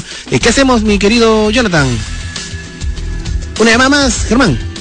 Aquí estamos pues con el equipo completo de Viaje a otra dimensión, directamente venido desde Irak, por, los, por los atentados que... bueno, aló, buenas noches. Buenas noches, doctora Anthony. Le saluda Beatriz. Hola, Beatriz. ¿Dónde nos llamas? Eh, de La Molina. Cuéntame, Beatriz, Doctor, ¿cómo le quería hacer eh, eh, tres comentarios. cuando yo era chica, este, tendría pues este cinco años. Me recuerdo claramente que estaba durmiendo con, con mis papás, porque de chiquita dormía a veces con ellos, ¿no? Y entonces, este, recuerdo haber eh, despertado en medianoche, ¿Sí? o pues este, en la madrugada, me imagino, y he visto tres siluetas. Tres siluetas. Sí, y estaban rebuscando, buscaban cosas, ¿Ah, pero siluetas bastante estilizadas, ¿no? Y estaba pequeña. Y, y, yo me acuerdo que lo moví y lo sacudí a mi papá, y, y, ellos cuando, cuando han visto que yo lo estaba tratando de despertar, entre los tres se han visto y se han desaparecido por la pared, por las paredes. ¿Hombres o mujeres? Eran siluetas, pero no, no les sabría decir si eran hombres o hombres, como hombres, ¿no? Pero no, no, les he visto gusto. ¿Rebuscando qué? ¿En, en, no sé qué buscaba. Sí, uno estaba abriendo los cajones, el otro estaba este buscando en, la, en el maletín de mi papá. Eh, entonces, este... Sí, rarísimo. Yo le juro que hasta el día de hoy, este... ¿Tú no, ¿Tú no estabas durmiendo, estabas eh, media soñolienta? Eh, no, yo estaba despierta porque ya cuando, es más, cuando ellos han ido y lo he vuelto a maquillar mi papá, recién ahí mi papá se ha despertado ¿Cuántos años tenías tú? Tendría pues cinco años. Era una niñita. Sí, estaba chiquita. Y bueno, y después toda la vida he tenido facilidad para ver estas estas cosas, pero estas personas, hasta el día de hoy me, acuerdo, pero como si hubiera sido ayer, ¿no? Y bueno, mi papá este eh, hacía yoga, era una persona bastante espiritual, yo no sé si por ahí iba, que estaban buscando cosas, buscándole algo de él, ¿no? Pero yo no sé, que se, se, se desapareció en la pared, te digo, ¿no? y, y, bueno, eso, y después otra vez estaba yo embarazada, porque tengo varios niños, estaba embarazada, estábamos yendo al dentista, y, y, en eso mi hijito me dice, mamá, mira el cielo, mira, mira. Estábamos viendo, y, y hemos visto, decirle 20 o 30 naves, ha sido poco. ¿Qué cosa? Sí, se lo juro. Entonces, ¡ah! yo inmediatamente he empezado a buscar a alguien para decirle, miren, miren, no había nadie. ¿Dónde, nadie. Estabas, ¿Dónde estabas tú? ¿En qué parte En esa época vivíamos en San Martín de Porres, ¿ya? y las naves estaban yendo así como hacia el mar. ¿Y como qué se veían? ¿Qué eh, le digo, eran este, bueno, pues eh, como, avioncitos, ¿no? Con, con luces, como avioncitos. ¿no? Entonces, era, era de noche. Era de noche, eran las 7, 7 y algo. ¿Tuvieras como 20 o 30? Sí, eran un montón, doctor, era un montón. Entonces, y lo más gracioso es que yo buscaba a alguien para decirle, miren, miren, pero no había nadie, absolutamente nadie en ese ¿Cómo que no había nadie en la calle? ¿Que la calle estaba vacía? lo juro. 7 de la noche, la, calle está llena de sí, gente. Sí, en ese momento no había nadie. Y entonces, cuando ya han pasado, y he visto porque entre las, o sea, estaba en la calle, las casas, ¿no? Y cuando ya se han desaparecido entre las casas, este, ¿no? Ya no se ha visto más. Ahí recién empecé a ver otras personas y una conocida le digo, este, ¿vio? ¿Vio las luces? No, eso no he visto nada. Qué alucinante. Y entonces, este, yo le pero no ha visto, si usted venía por ahí, no ha visto las luces. No, me decía. Y lo más gracioso es que mi hijita estaba chiquita, tenía tres años, y decía, mamá, yo no quiero que me lleguen los extraterrestres. ¿Y qué, con qué cara pues me habrán visto la, la, conocida esta que, le digo? De que, ¿qué creerá? Pues le estoy metiendo miedo a mi hijita, ¿no? Y yo dije, no, le, no digan nada. Y, y cuando hemos llegado a la casa, sí hemos hablado, y mi hijo tenía ahí pues seis años, y y bueno, pues este fue muy muy bonito. Ahora, ahora te comento una cosa, este Beatriz, este hay una, investigadora norteamericana llamada Jenny Rangles que, que, acuñó un término que se llama el efecto Oz, relacionado a lo que exactamente lo que tú cuentas, de mucha gente que ha tenido en avistamientos ovnis o encuentros con humanoides, encuentros con tripulantes de ovnis, en el cual ellos sienten que, dice que la calle se pone vacía, o el tiempo como que se detiene, o el tiempo que se pone más lento, o, simplemente que como que no hay nadie, solamente ellos. Entonces, eh, hablan de este efecto O relacionándolo con la película El Mago de Oz, ¿no? Parece que hubiera un espacio-tiempo, una campana de espacio-tiempo en que la persona que puede ver ovnis, puede ver fantasmas, y entonces es un estado alterado de conciencia y es así que tú tienes esa posibilidad. No lo sé, lo dejo ahí, pero eh, algo de eso debe haber, ¿no? Gracias Beatriz por tu comentario, qué interesante. Son las 9 y de la noche y, qué rapidísimo. También acá hay un, un efecto de tiempo que ahorita, hace dos minutos no leí las noticias. Otra vez las leo. Bueno, se está acelerando el tiempo aquí en nuestra cabina. Que vengan las noticias. Sí, después de las 11.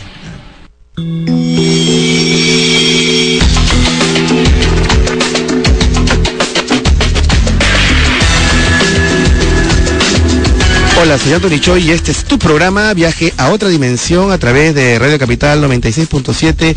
Tu opinión importa. Y bueno, queridos amigos, quiero mandar un fuerte saludo a Carolina Valenzuela Polo. Ella tiene la amabilidad de enviarme unas, unas imágenes muy bonitas del corazón de Jesús. Gracias Carolina por tu iniciativa, ¿ah? por tu cariño al programa de Radio Capital 96.7. Eh, también quiero saludar a Verónica Espinosa y a su amigo eh, Arturo Tobón, que nos está escuchando en México. En México, ah, un fuerte abrazo para todos los amigos mexicanos, eh, en, nombre de Arturo Tobón, y a toda la gente que sabemos que nos escucha, a todas las comunidades peruanas que nos escuchan, sabemos que nos escuchan en España, en Japón, en Australia, en, bueno, en Latinoamérica, en, Colombia, en Chile, en Argentina.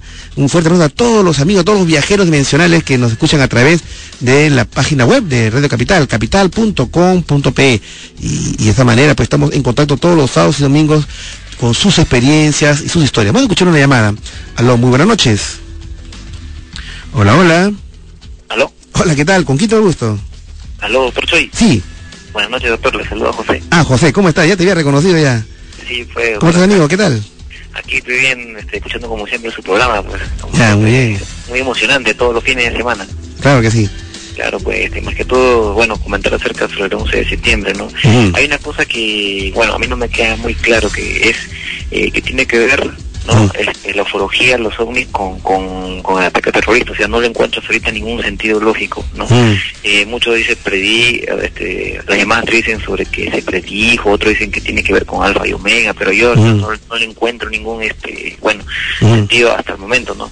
hasta donde, como se sabe, eso fue un ataque terrorista, y obviamente la la caída de los edificios, pues obviamente se produjo por, por este, la misma explosión y más que todo este el mismo material, ¿no? Que se sabe que es de acero, ¿no? Y el acero cuando, bueno, hay varias clases de acero, pero si, el acero uno está a alta temperatura, obviamente se desintegra, ¿no? y bueno, eso, me, más que todo el, comentario. bueno, eh, José, el, el, tema es de que eh, bueno, yo sí recuerdo cuando vi las imágenes de, de, a mí me pareció, o sea, yo miré la imagen, yo, yo, tenía un televisor grande, ¿no? A colores, y yo vi eh, que había unas luces extrañas al momento que las torres gemelas extrañas, es que es un hombre. Luego, a mí me llamó la atención porque yo quise ver en las repeticiones de la CNN y ya no pasaron esas imágenes. Luego después hubo mucha especulación, me recuerdo que en ese año, el año 2001, era 2001, 2002, Después hubo una conferencia, me acuerdo que del contactado eh, Richard González, ¿no? que, que en época del grupo Rama, que hizo una, conferencia sobre los ovnis y las Torres Gemelas. Claro, lo que un poco la relación que hablaban ellos es de que generalmente se habla de que estas, estos fenómenos aeronómalos, estos ovnis siempre aparecen en lugares donde ha ocurrido pues tragedias o cuando hay erupciones volcánicas o donde hay donde hay terremotos o cuando ocurren eh, digamos en, zonas de guerra por ejemplo no en Chernobyl se vieron ovnis eh, durante el, tema del, escape atómico que hubo en la central nuclear de Chernobyl y cómo no se dice que hubo ovnis cuando alrededor de las torres gemelas.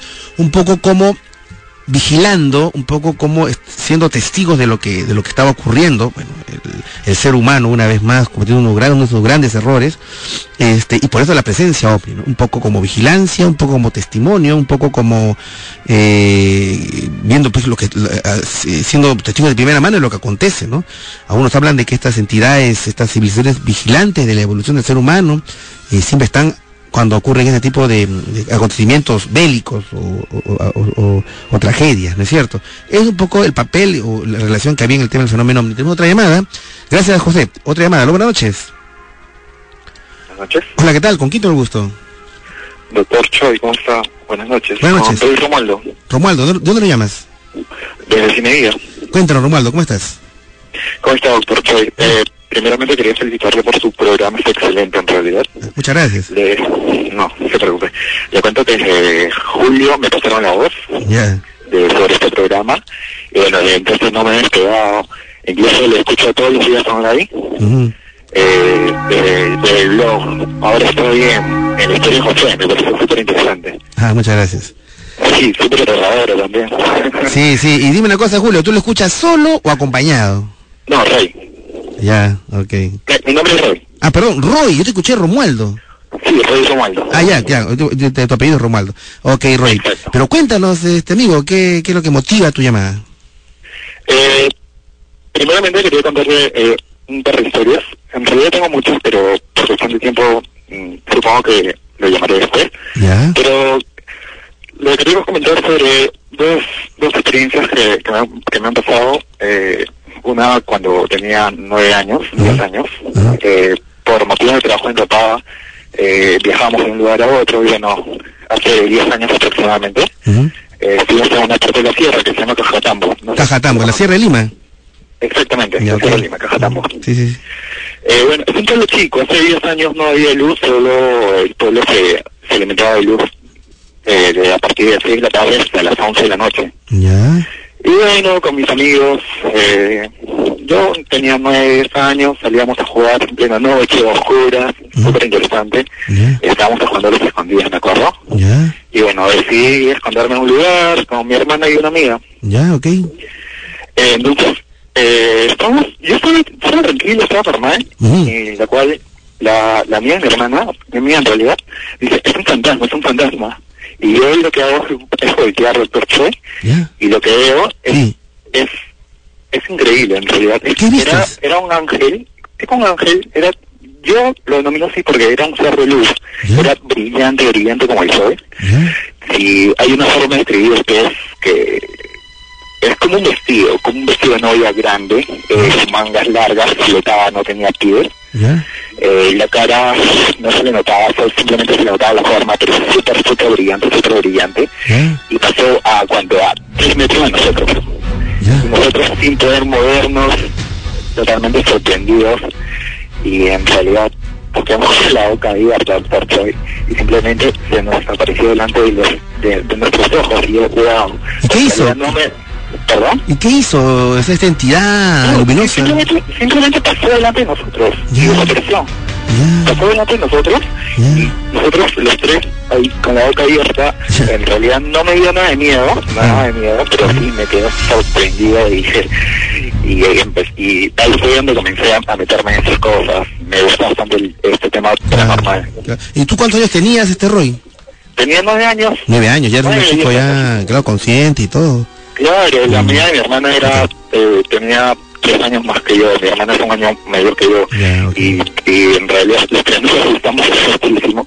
En realidad no nos asustamos, no nos sorprendimos, como que lo comentamos a todo el mundo, pero no nos creía. Pero en realidad este, le comentamos a, unos tíos que este, uh padres y dice que en este, en este lugar pasan miles de cosas y en realidad no hay persona que pase 10 años que no haya tenido uno de estos fenómenos. Porque en realidad la parte de la Sierra de Lima sí. hay muchas, muchas cosas muy interesantes en realidad. Sí, ahora, ¿tú piensas, eh, Roy, que fue, vamos, dentro de, de, digamos, ya dentro del concepto paranormal, fue un ángel? ¿O fue un fantasma? ¿Qué es lo que crees que viste? Eh, en realidad, como lo estaba escribiendo, era como un vestido de novia grandísimo que iluminaba bastante. No, no me dio miedo, no sentí esa sensación, pero simplemente me quedé sorprendido en realidad. Yo creo que cualquier persona que ve estas cosas, en realidad sí se queda lo mismo que yo. Pero yo, si tiene mi opinión, es, es, un, es un ser ominoso, podría ser un ángel o, o nada, nada oscuro en realidad. Hay una sensación de paz y tranquilo. Y bueno, quería comentarle una historia que me pasó frente a eh, muy interesante. mira, tenemos, tenemos que hacer la, la pausa. Si tú quieres, te quedas con nosotros Ah, no, me parece, sí, mira, lo bueno es que tenemos que hacer la pausa porque ya tenemos que entrar al tema central. Y gracias Roy por comentar esta historia y cómo no, te esperamos en otra oportunidad para que continúe la segunda historia de este tema. Vamos a hacer eh, ahora sí la pausa comercial eh, y, regresando ya entramos en materia, vamos a hablar en extenso sobre este, el tema que esta noche nos convoca, el 11 de septiembre y las Torres Gemelas, la moral de las confederaciones. Ya retornamos.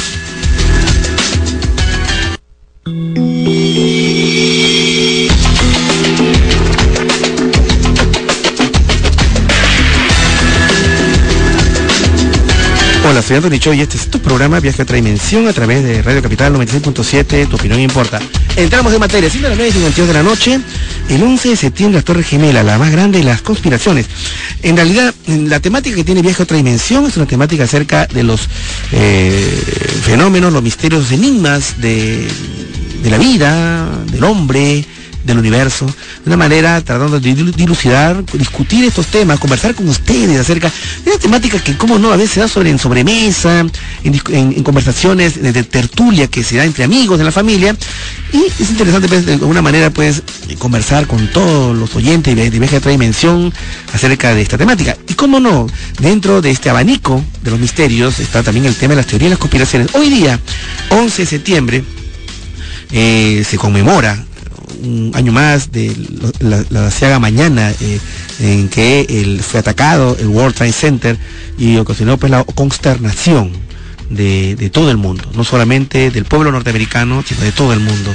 Eh, nosotros, y, a través de la magia, de la, de la conexión eh, global, es que nosotros pudimos ver minuto a minuto cómo sucedían los eventos y, era, y eso pues de una manera fue trágico. Nosotros hemos visto reflejadas las consecuencias del 11 de septiembre en muchos aspectos, ¿no es cierto? Ya en el aspecto de la política mundial, el, eh, la economía mundial también fue afectada, eh, inclusive el arte, hemos visto muchas películas, esta, esta sensación de catástrofe eh, que, que, que, que, llenó los corazones de, de todo el mundo e inclusive hubo cambios radicales, eh, ustedes saben, vino después la guerra de Irak, eh, eh, la invasión en Afganistán, eh, el, Medio Oriente hubo convulsiones.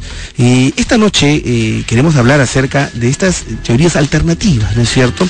Alrededor del 11 de septiembre y las Torres Gemelas. Muchos hablan que es que hubo una gran conspiración, eh, estaba por grupos de poder con respecto a eso.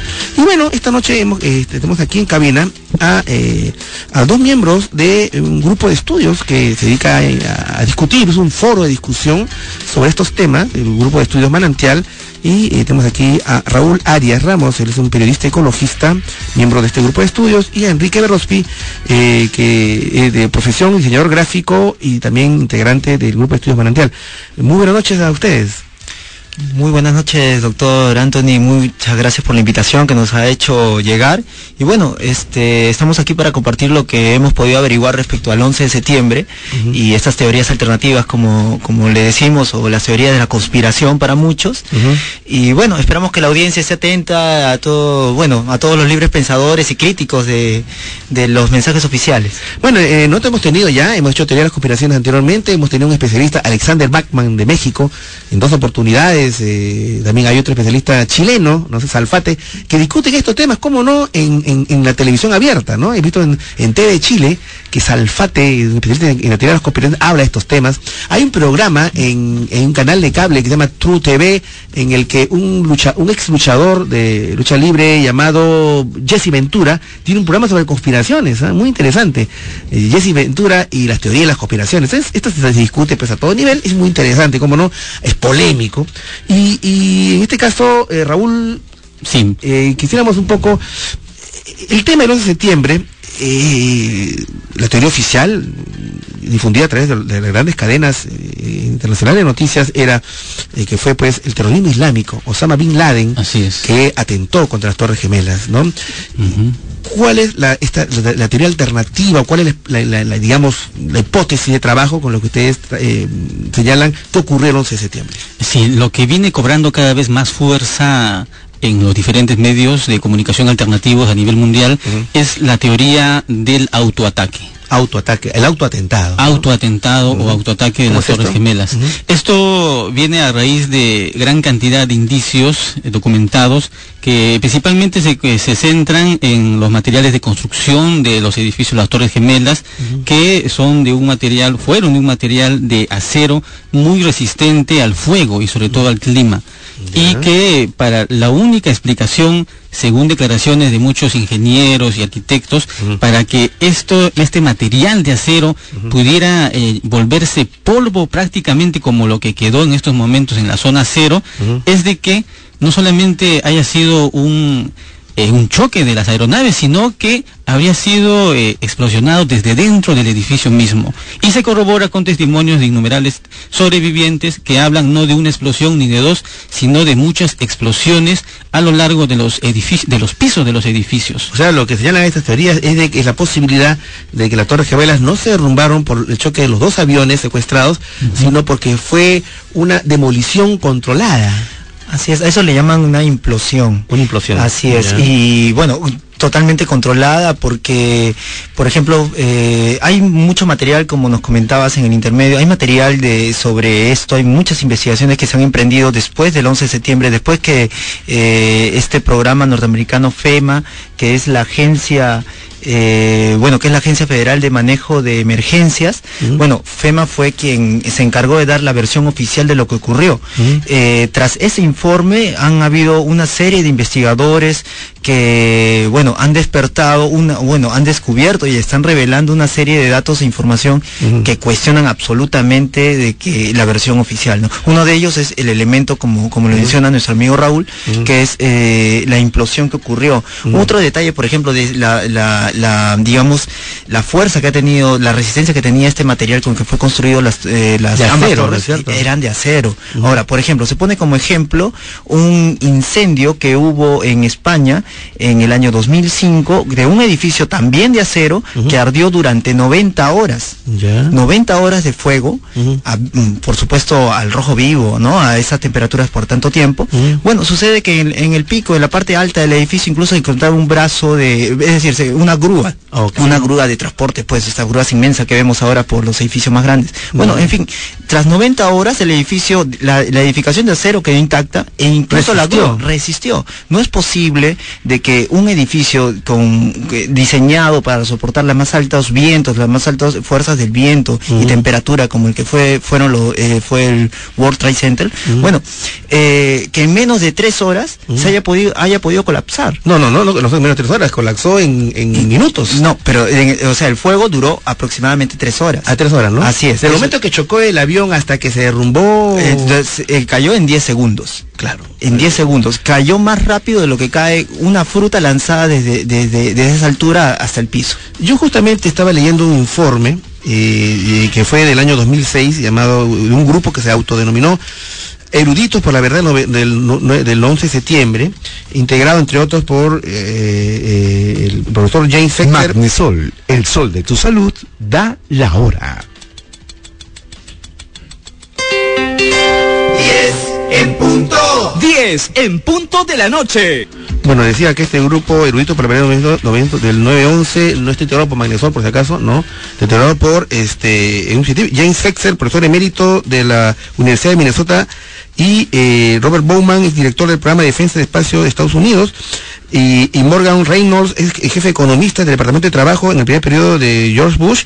Es un grupo investigación por científicos y ellos decían de que era imposible de que el World Trade Center se hubiera derrumbado por las dos torres. Y ellos decían que eh, por ejemplo, que habían encontrado grandes piscinas de metal fundido en los sótanos de las torres y que eso era imposible que fuera que se pudiera, fundir porque por ejemplo los soportes de acero se, se evaporaron en parte y eso requeriría temperaturas cercanas a 5000 grados cosa que con el choque de los aviones no habría podido este, producirse, ¿no es cierto? Este, Así es. Eh, justamente en cuanto a esto, se ve que la zona cero eh, quedó, como vuelvo a repetir, pulverizada.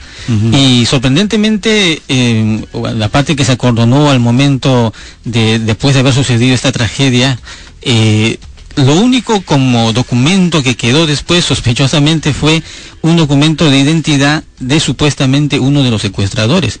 Es decir, eh, prácticamente teléfonos, computadoras, escritorios, materiales eh, de acero, metales, otros fueron pulverizados y, supuestamente un documento de uno de los secuestradores sí quedó, sí sobrevivió al fuego, a la incineración total. ¿Como si hubiera sido sembrado? Como si hubiera sido sembrado para, como quien dice, echar la responsabilidad, la culpa a los secuestradores, en este caso los supuestos terroristas. Otra cosa que también llamó la atención, y eso dio motivo a un libro, yo decía en antes eh, acerca de este libro, La gran impostura, acerca del avión que se estrelló contra el Pentágono uno de las uno de los espacios aéreos más vigilados, el más vigilado del mundo, cómo pudo penetrar un avión y, que no se encontró ni siquiera una llanta del avión en el Pentágono, ¿no? Y esto es lo que estoy diciendo, no son conjeturas mías, eso es lo que dice el libro de este francés, eh, el libro de la gran impostura, ¿no es cierto? Así es, y, justamente este eh, bueno, justamente en relación a lo que mencionas, eh, lo que oficialmente se ha presentado respecto al video, hay un solo video, curioso, después, teniendo tantas cámaras, ¿no? Existen, existen existiendo de vigilancia para un lugar tan, tan seguro que debe representar el Pentágono para Estados Unidos, solo aparece un video de menos de cuatro segundos donde se ve imágenes entrecortadas, la mm. aparición de un avión y luego la explosión. Mm. el avión desaparece de la, escena mm. este, a metros antes del contacto. Es decir, no se ve en ninguna de esas escenas eh, que el avión en partes va estallando. No se ve.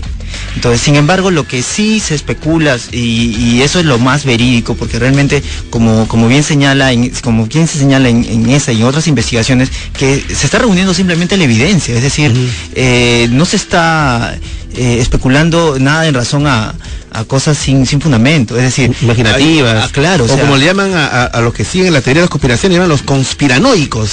Son esas, pues, conspiraciones con por paranoicos. Es, es, un cliché que yo, que yo entiendo básicamente es para desprestigiar cualquier este elemento de duda o mm. ante la oficialidad, ¿no? Entonces mm. ahí va el tema, ¿no? De que eh, según la información que se tiene, eh, al parecer lo que sea, lo que estalló, lo que, perdón, impactó contra el Pentágono, se trata de un misil, se trató de un misil. Mm. Y prueba de ellos, este es que, como dice, no se encontraron restos y un avión de la, del tamaño como el que tenía el Boeing, que este, supuestamente estalló, tuvo, hizo impacto con el Pentágono, pues tenía que haber pasado por una serie de terreno que hubiera no solamente este, destrozado las pistas, viviendas y lugares que estaban bastante cercanos ahí al Pentágono. Entonces hay una serie de, elementos que nos eh, ayuda a, eh, a, pensar que se, se, ha tratado más bien de un teledirigido, un misil teledirigido. Bueno, vamos a hacer una pausa, eh, es un tema muy interesante, y después de la pausa nos gustaría de repente explorar la posibilidad, es, es, estas escenas que justamente hablamos, que se vieron, eh, que fueron transmitidas y que fueron, volvieron a ser pasadas, de estas luces extrañas que aparecieron alrededor de las Torres Gemelas, el tema del fenómeno ovni, y si usted tiene alguna información al respecto, luego, luego lo comentamos, ¿les parece? Eh, son las 10 y 4 de la noche y rezamos con una temperatura de 15 grados, ha subido un grado y ahora sí, que vengan las noticias.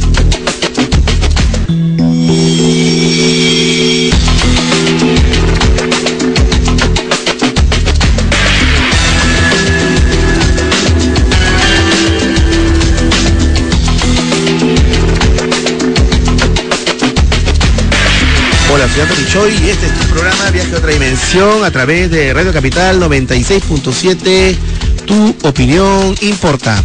Eh, acá es, eh, escribiendo a blog de Viaje otra dimensión, capital.com.pe, como nos acaba de escribir Fabricio. Hace unos 15 segundos que nos dice, hola otro Choi, buscando en Google sobre la coincidencia con el número 11. Ah, bueno, el tema del, del número 11 y el 11 de septiembre, ¿no? Dice, New York City tiene 11 letras. Afganistán tiene 11 letras. Ramsip Youssef, el terrorista que amenazó con destruir las Torres Gemelas en el 93, tiene 11 letras. George W. Bush tiene 11 letras.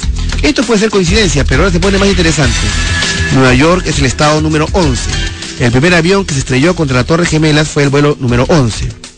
El vuelo número 11 llevaba 92 pasajeros, 9 más 2, 11. El vuelo número 77 también estrelló contra las Torres Gemelas y llevaba 65 pasajeros. 6 más 5, 11. La tragedia sucedió el 11 de septiembre, o mejor dicho, 9, 11, 9 más 1 más 1 es 11. El día es igual al número de emergencias de la Policía de Estados Unidos, claro, 911. Sí, pues es una cosa interesante. El número total de víctimas entre los dos aviones fue 254 personas. Y así por el estilo. Las explosiones de Madrid sucedieron el 3 de noviembre de 2004. 3 más 1 más 1, 11. Sí, pues hay, un tema ahí de las coincidencias, ¿no es cierto? Y quizás de la numerología. Estamos aquí eh, en, cabina con Raúl Arias y Enrique Berospi. Yo soy integrante del grupo de estudio Manantial que justamente estudian estos, estos temas de alternativas, de la teoría las cooperaciones. Eh, Raúl, eh, no sé si tú tuviste oportunidad de ver esas imágenes de, que las torres gemelas y estas luces traen en los cielos. Sí, claro que sí. ¿Algo se ha, hablado acerca de la presencia ovni en las Torres Gemelas en sus discusiones? Sí, claro, eh, siempre hay una relación, eh, como hace un momento usted lo mencionó, en cuanto a la aparición de estas naves eh, en, alrededor, antes o después de sucesos catastróficos, como, como queriendo prevenir o como queriendo registrar hechos históricos que después van a, van a ser parte de nuestro principal eh, experiencia como seres humanos y de eso se menciona, bueno, en el sentido de que esos hermanos cósmicos quizás están interesados en ver el desarrollo de esta parte de la historia exclusivamente, ¿no? Como que algo clave hay en estos años o en estos meses que estamos transcurriendo. Ahora, eh, la teoría de, que se tiene un autoatentado, pues, eh, es una teoría, pues, digamos, alucinante, ¿no? Yo una, leí, eso es un número claramente, eh, hace unos meses en el diario El Comercio una, una, crónica de un diplomático peruano que estaba eh, eh, justo antes que estallara la Segunda Guerra Mundial como diplomático del, del, Perú en los Estados Unidos y él comentaba, dentro de sus memorias me parece, de que él, era un país neutral, Perú, recibió información de que iba a haber un ataque japonés en Pearl Harbor. Él comunicó son cuenta y está en una crónica en el, decano de la prensa nacional del comercio, este, de que él comentó esta información, digamos, a, los, a los oficinas de inteligencia norteamericanas ante la Segunda Guerra Mundial y que luego hubo, lo de Pearl Harbor. O sea que al parecer, eh, digamos, se tenía información de que esto iba a suceder, pero habría que ver pues, la realpolitik, como dicen, si, si, si, si, no se hizo caso o se aprovechó este incidente para que Estados Unidos ingresara a la, a la, a la, a la, Segunda Guerra Mundial. Muchos hablan, yo leí un documento que figura en internet, ¿no? En el cual se decía, eh, un documento llamado Reconstruyendo la Defensa de América del Partido Conservador, el, Partido Republicano, eh, en el que decía, el proceso de transformación, incluso si se traen cambios revolucionarios, probablemente necesite de un evento catastrófico y catalizador como el de Pearl Harbor. En ese sentido, claro. habría la posibilidad de que este evento, si es que esta teoría de la, conspiración de, del 11 de septiembre haya servido para fines posteriores de la política exterior norteamericana. Eh, sí, realmente eh, hay mucho hay mucho pan por rebanar respecto a este asunto. Y Pearl Harbor es un hito porque es lo primero con lo que se compara la experiencia del 11 de septiembre. Pearl Harbor sirvió políticamente para Estados Unidos por dos fines. Uno, el fin de este de expandir, digamos, la guerra, la guerra las, plena en plena Segunda Guerra Mundial. Eh, uno políticamente, usos. Y dos, el, desarrollo de tecnologías como las que ya venía desarrollando, que fueron la, energía atómica. el ataque a Pearl Harbor justificó las bombas, los dos atentados, ¿no? Que se dieron en, Nagasaki y Hiroshima, ¿no? Este, ¿y qué es lo que justificó? El ataque a Pearl Harbor que Japón le hizo a Estados Unidos en esa, en esa base militar. Entonces, eh, ahora, lo curioso de aquel evento es que, por ejemplo, mencionando algunas cosas, es que sorprendentemente el vigía de la torre no se encontraba el tal día. y bueno, y luego se desclasifica documentos y se encuentra pues que eh, los, los altos mandos norteamericanos tenían conocimiento pleno de este asunto. Ahora, lo de las torres gemelas es algo muy parecido y por eso este, entendemos, por ejemplo, mm, las torres gemelas, el 11 de septiembre del año 2001, representa un hito distinto en la historia este, de, la humanidad, digamos, ¿no? De, nuestra civilización, de la civilización moderna. Porque a partir de entonces se ha dado eh, abiertamente eh, Estados Unidos como nación eh, una serie de justificaciones para eh, invadir naciones que con alto contenido de petróleo, es decir, no Irak, Irán, este Irak, perdón, Irak y Afganistán, este y, bueno eh, la, gran mencionada existencia de un grupo terrorista internacional llamado Al Qaeda y cuyo líder al cual están al cual dirigen que es enfocan de que es el responsable de este atentado, ¿no? Ahora se ha justificado a través de eso toda esta serie de invasiones. recuerdo solo un dato, El año 98 George Bush en su primer gobierno decía que habría que implementar y propuso al, Senado norteamericano implementar un presupuesto de más de 17 mil millones de dólares para este, la elaboración de armas eh, antimisiles, perdón, claro, de, de armamento antimisiles. Entonces, lo que se justificó en aquel momento no, no fue aprobado porque se le dijo, bueno, no hay justificación, no estamos en guerra con los, con los comunistas de Rusia, no estamos en guerra con ningún país, entonces no justifica eso. Eso fue el año 98. Perfecto. También vamos a, ustedes, queridos amigos, si, si tienen algún comentario con respecto a lo que estamos conversando esta, esta, esta, ocasión, acerca de eh, el 11 de septiembre y si fue esto parte de una gran conspiración, llámenos al 222-0575, 222-0580, 222-0711. Sabemos que es un tema controversial, es un tema polémico, y como no, me interesaría recibirme sus opiniones, sus comentarios, sus críticas, sus, están de acuerdo con esta opinión, depende, no están de acuerdo con esta opinión. Esto es muy nosotros compartir y abrir el debate. 222-0575, 222-0580 y 222-0711.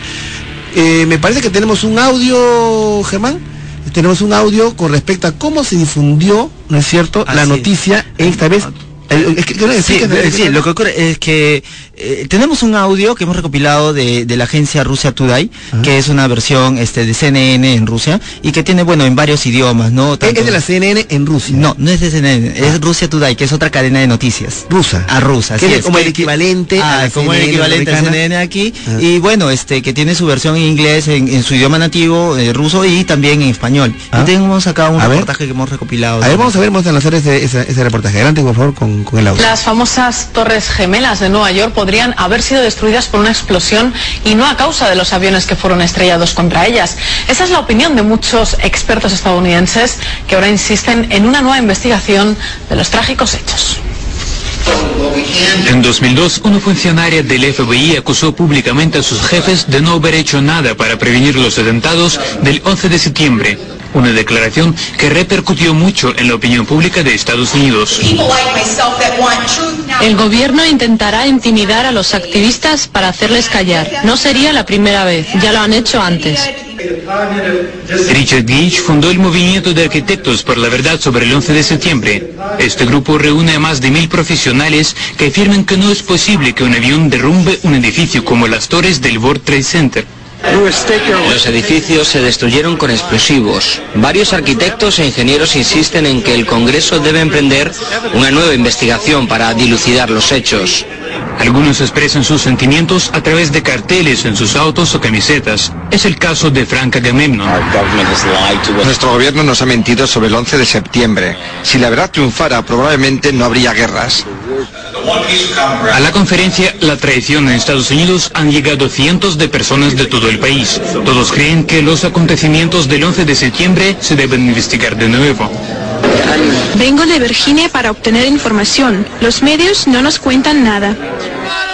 El movimiento por la verdad sobre el 11 de septiembre existe desde hace tiempo, pero parece que ahora empieza a preocupar a las autoridades. De hecho, hace poco ha sido incluido junto con Ku Klux Klan en la lista de las asociaciones más odiadas por los ciudadanos en Estados Unidos, según afirman las encuestas. El presidente Kennedy dijo una vez que sin debates y crítica es imposible gobernar un país. Muchos ahora exigen mayor transparencia por parte de los políticos. Bueno, interesante eh, este reporte es de, una agencia de noticias rusa, ¿no es cierto? El enfoque.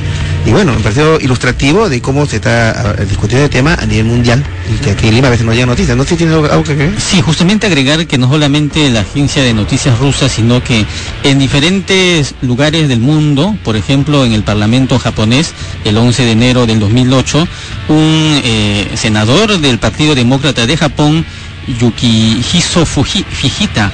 Él eh, expuso todas estas investigaciones de arquitectos, ingenieros, tal como lo hemos mencionado en parte aquí, con respecto al 11 de septiembre y que en realidad fue un autoatentado. Un autoatentado. Así es. Bueno, vamos a regresar con más de esta noticia y, como no, recibir también sus llamadas eh, con respecto a este tema eh, tan controversial. Son las 10 y, 10 y 19 de la noche, tenemos una temperatura en Lima, ciudad capital, de 15 grados Celsius y regresamos rapidito con nuestro programa.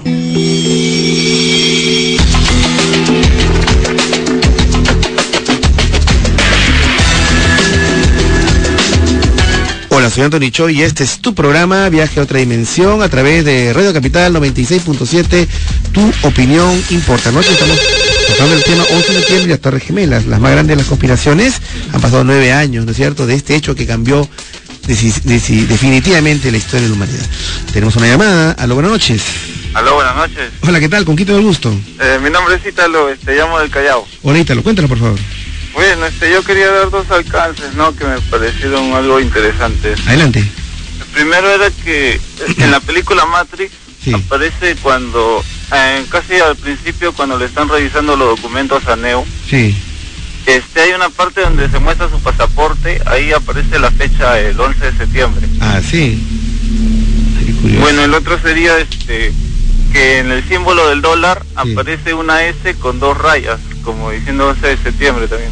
Ah, bueno, y eso del dólar también interesante, Ítalo, eh, del, del, billete de, de 20 dólares que doblado eh, de alguna manera se ve claramente a las Torres Gemelas incendiándose. No sé si han visto ese, ese, esa imagen. Ah, claro, otra curiosidad. Parece que ya lo tenían, creo que planeado, ¿no? Más Como planeado. Algo así de entender, ¿no? Bueno, sí, pues habría que ver. Bueno, gracias, Ítalo, por tu comentario. Y hablando de eso, eh, el tema también, estamos hablando tampoco de los números y cómo coinciden nosotros tenemos acá pues este tema, el número 33, ¿no? y hablando de Matrix, que Ítalo lo ha citado, si ustedes ven la mayoría de las películas que tienen que ver con el fenómeno ovni, en la escena principal o en la escena y, del inicio, siempre aparece el número 33. Justo en Matrix, ustedes recuerdan la escena eh, inicial de Matrix cuando es perseguida este esta, esta chica Trinity, Trinity, ¿no? Y entonces el director de la, de la película, que son los hermanos Wachowski, enfocan donde Trinity está encerrada, eh, refugiada, y vienen los policías y vienen los hombres de negro, que son los Smith, una cosa así. Así es, Y enfocan el número que tiene la puerta eh, donde está refugiada Trinity. Y aquí no saben qué número es, el número 33. ¿no? Es muy, muy interesante. Eh, tenemos una llamada, me parece. Aló, buenas noches. Oh, buenas noches, doctor Choi. Hola, ¿qué tal? ¿Con quién gusto? Con José, doctor. Hola, José. Cuéntanos, por favor. Sí, para mí esto nace desde la elección en noviembre del año 2000 mm. cuando Bush gana por decisión de los jueces, cuando la, en realidad el ganador fue Al Gore, que era del Partido Demócrata, pero como no estaba, digamos, por los intereses de, atentar, de autoatentar con las Torres Gemelas, simplemente fue sacado, fue defenestrado ilícitamente o irregularmente de ser presidente de los Estados Unidos. Él, mismo alegó que hubo un fraude total ahí, ¿no? En, el año 2000. Ahora, este, también he visto información referente al, al expresidente italiano Cosiga, Francesco Cosiga, que él dice que corroborando todas las informaciones de los servicios de inteligencia a nivel mundial, eh, eh, sabían, o sea, se sabía de que esto iba a ser un autoatentado, justamente para justificar la invasión a Irak y Afganistán, por, lo, por lo siguiente, porque él dice que el sistema de seguridad norteamericano, cuando ve que un avión comercial se desvía de su ruta, automáticamente es interceptado por aviones caza para derribarlo. Entonces, ¿cómo se explica que un avión primero choque con la torre norte y a los pocos minutos, a los 20 o 30 minutos, choque otro, cuando ningún avión caza haga un vuelo para tratar de interceptarlo? Aparte de eso, también se hicieron demostraciones sobre explosiones. Usted sabe que en los países occidentales los edificios viejos se demuelen con explosivos, con dinamita. Entonces se hicieron eh, demostraciones de que eh, pusiendo solo dinamita en la mm. parte alta de los de estos edificios viejos mm. y no afectó para nada las estructuras. Mm. Entonces, ¿cómo se puede creer de que un avión en el piso ochenta y tantos o noventa y tantos puede afectar una estructura de acero, como decían los invitados, llegando hasta, hasta las bases, ¿no? Eso es totalmente impensable, es algo que no tiene congruencia. Pues. Entonces, eh, todo eso nos hace, todo, todo eso nos hace pensar pues que ha sido un autoatentado. Eh, aparte, aparte hay que tomar en cuenta el objetivo de, la invasión a Irak, que fue las armas de químicas de destrucción masiva, que no encontraron absolutamente nada. Pues, Entonces, si no encontraron nada, ¿por qué se han quedado cinco años en Irak? No tiene sentido eso. Ok, bueno, muchas gracias por, tu comentario. Eh, no sé, tienen esta Así es, mire, solo para agregar uno, uno, uno de los datos, digamos, entre tantos, uno es que, por ejemplo, los F-15 que volaron a 450 millas eh, para darle alcance a los aviones que estaban sobrevolando ya después del primer impacto, bueno, eh, esos aviones salieron a una velocidad de 450 millas por hora. ¿no? En vez de 1750 millas, que es su capacidad real. Entonces, ahora, eh, sucede que para interceptar esos aviones de los secuestradores, eh, lo extraño es que salieron, partieron desde un desde una base mucho más lejana, de la base más cercana que tenían para despegar la otra la otra flota. O sea, ¿por qué no salieron de la base más cercana? Así es. Salieron de la más lejana. Salieron de la más lejana y por qué salieron a una velocidad y por qué este pilotearon a una velocidad tan tan lenta. Ok, perfecto. Tenemos otra llamada. Aló, buenas noches. Hola, hola. Bienvenidos a Radio Capital. Hola, ¿qué tal? ¿Con quién tengo el gusto? Con Justo de San Martín de Torres. Hola Justo, ¿qué tal? Cuéntanos por favor. Eh, mire, es con respecto a los atentados, ¿no? Mm. Yo sí creo en los y quiero adelantar esto, pero con lo que estoy escuchando, con lo que veo en estos últimos tiempos, veo que la mente humana es muy sensible, muy se sugestiona mucho. Muy sugestionable, ¿no? Sí, sí, sí, con mm. esto de que se ve espíritus, eh, hay sugestiones personales, grupales, así como lo que sucedió el otro día en el RIMA, ¿no? Es posible. Eh, lo que veo que está mencionando ahí también de las explosiones en la parte baja, mm. yo pienso que en todo edificio grande hay extinguidores que son una especie de galones de gas. Entonces, este, la mente es muy, muy sensible. Yo por eso pienso, hasta ahora me preguntaba, ¿por qué los alienígenas, si son de mente muy superior, no bajan a la tierra y conversan con los seres humanos. Claro. Pero digo que si eso sucedería, eh, al día siguiente nos destruimos nosotros mismos, no por los alienígenas, sino nosotros mismos. Porque pensaríamos que nuestro vecino es un alienígena, que nuestra suegra, nuestra suegra es una marciana, y así, el se acabaría. Por eso es lo que los eh, alienígenas nos llevan. Gracias, aunque, aunque, hay muchos marcianos por ahí en la calle, ¿eh? ese es definitivo. Eh, sí, pues no, mucha gente dice, bueno, y si existen, como dice pues justo, acabemos pues porque no aterrizan en la plaza de armas eh, se entrevistan con Alan García o una conferencia de prensa a través de Canal 7 y San se acabó o, eh, o, en las Naciones Unidas ¿no es cierto? sí pues ahora el tema es mucho más complejo me parece ¿ah? y, justamente ayer tuve una reunión con todo mi, equipo de Proyecto 33 preparando los nuevos programas que estamos haciendo para ustedes queridos amigos las nuevas investigaciones y hicimos una revisión acerca de la casa del Riman ¿no? Usted, y, usted sabe, nosotros estuvimos ahí pues desde las 11 de la noche hasta las 4 de la mañana. Estuvimos en la casa del Riman y este eh, y, me comentaba, yo les preguntaba si a la hora que ellos llegaron hubo un grupo, un grupo de investigación paranormal ahí, no había nadie, no había nadie. Y me empezaron a, relatar todos los incidentes, paso a paso, punto a punto, todos los incidentes paranormales que hubieron, quiénes estuvieron con nombres propios, quiénes estuvieron, quiénes fueron testigos, generalmente 25 personas aproximadamente, y los hechos ocurrieron tal cual, no, había manera de decir que no ocurrieron, ¿no? muy interesante. Tenemos otra llamada, buenas noches. Hola, ¿qué tal? ¿Con quién tengo el gusto? Con Jorge. Hola Jorge, ¿dónde nos llamas? De Magdalena, doctor. ¿Cómo estás? Adelante Jorge. Doctor, dos cositas. Bueno, primero para comentar sobre el tema, bueno, parece que sí, así es un autoataque, ¿no? Porque hay varias evidencias. Eh, ya esto ya tiene inclusive antecedentes, ¿no? Por ejemplo, en el caso de Pearl Harbor también se piensa que ese ha sido ¿no? un autoataque para entrar a la Segunda Guerra Mundial. eh, después también con eh, la situación del hundimiento de Lusitania, también fue otro pretexto. Y ahora, ahora pues, en el 2011 pues, con lo de las Torres Gemelas también, ¿no? Y con eso te sabe que Estados Unidos se, se favoreció bastante. El mismo Bush, ¿no? Que tiene bastante negocios allá por petróleo, ¿no? Ahí por el por el Medio Oriente. Eh, entonces parece que, como dicen, pues, la, han llegado a la conclusión de que en realidad ha sido un autoataque, ¿no? Una cosita, doctor, antes que se me corte porque tengo un celular. Sí, Jorge. No sé si sabe que va a haber una conferencia en la UNI sobre la línea de Nazca. Ah, caramba. Eh, sí, eh, bueno, justo la semana pasada estuve por ahí. Querido amigo, un ratito. 10 y 30. 10 y 30 minutos. Ahora sí, Jorge, me comentaba. Sí. sí, justo la semana pasada estuve por ahí, bueno, haciendo unos trámites, pero bueno y vi pues hay un, afiche de que va a haber una conferencia sobre la línea de Nazca de un doctor, un científico estadounidense, el doctor este David Johnson, que es en realidad investigador de la National Geographic. Él va a dictar en la sobre la conferencia se llama, ¿no? Eh, línea de Nazca nuevo enfoque científico. Esto lo va a dictar el martes, el martes 14 al mediodía en la facultad de, en el auditorio de la Facultad de Arquitectura. Perfecto. Y lo bueno es que el ingreso es libre. Muy bien, entonces, a ver, vamos a ver, el martes 14 en la Facultad de Arquitectura, eh, bueno, se cortó para ver una conferencia de David Johnson. A ver, mi querido Germán, a ver si de repente lo traemos a, este científico al programa para hablar sobre la línea de Nazca. ¿Qué te parece? Sería bien, ¿eh? muy interesante, ¿eh? Muy interesante, sí. A ver, vamos a ver otra llamada. Hola, buenas noches. ¿Aló? Hola, ¿qué tal? ¿Con quién te va gusto? Con Ángel. Hola Ángel, ¿de dónde lo llamas? De Turquía. Cuéntanos Ángel, ¿qué tal? Este, bueno, con lo que estoy escuchando, yo este, quisiera ser en este caso este, un poco, como que dice, abogado del diablo. Adelante, adelante. Trato de ser un poco más este, del lado de la sensatez, entre comillas. A ver, adelante. Este, a los dos caballeros que has invitado, que me parece muy este, bacán lo que están diciendo, pero, por ejemplo, sobre el avión que se estrelló en el Pentágono, ellos dicen que fue un misil lo cual no, este, la todo esto, pero si fue un misil yo pregunto, ¿y qué fue el avión? O sea, el avión, ¿dónde la gente y el, avión dónde están?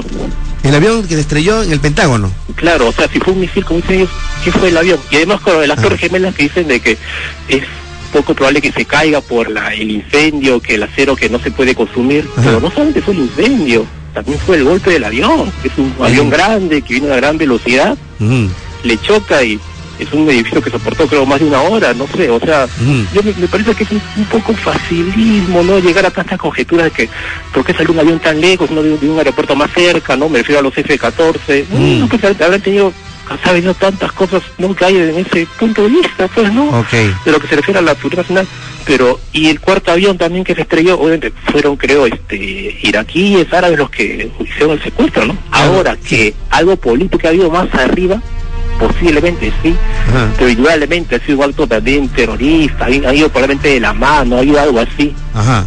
No, que ha habido más, más al fondo, una conspiración, no sé, pues tanto política como ufológica. Podría, ser, podría ser, podría ser. Bueno, Pero eso el misil en, en el Pentágono es lo que me tiene un tanto, ¿no? ¿Qué fue el avión entonces?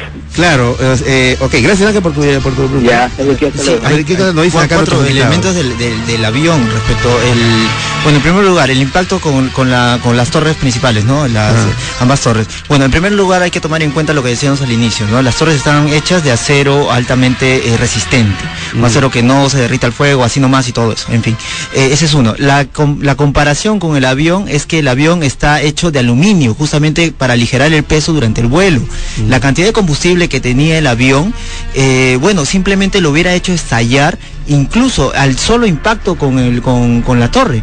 O sea, no es necesario ese, ese es uno de los elementos. Claro.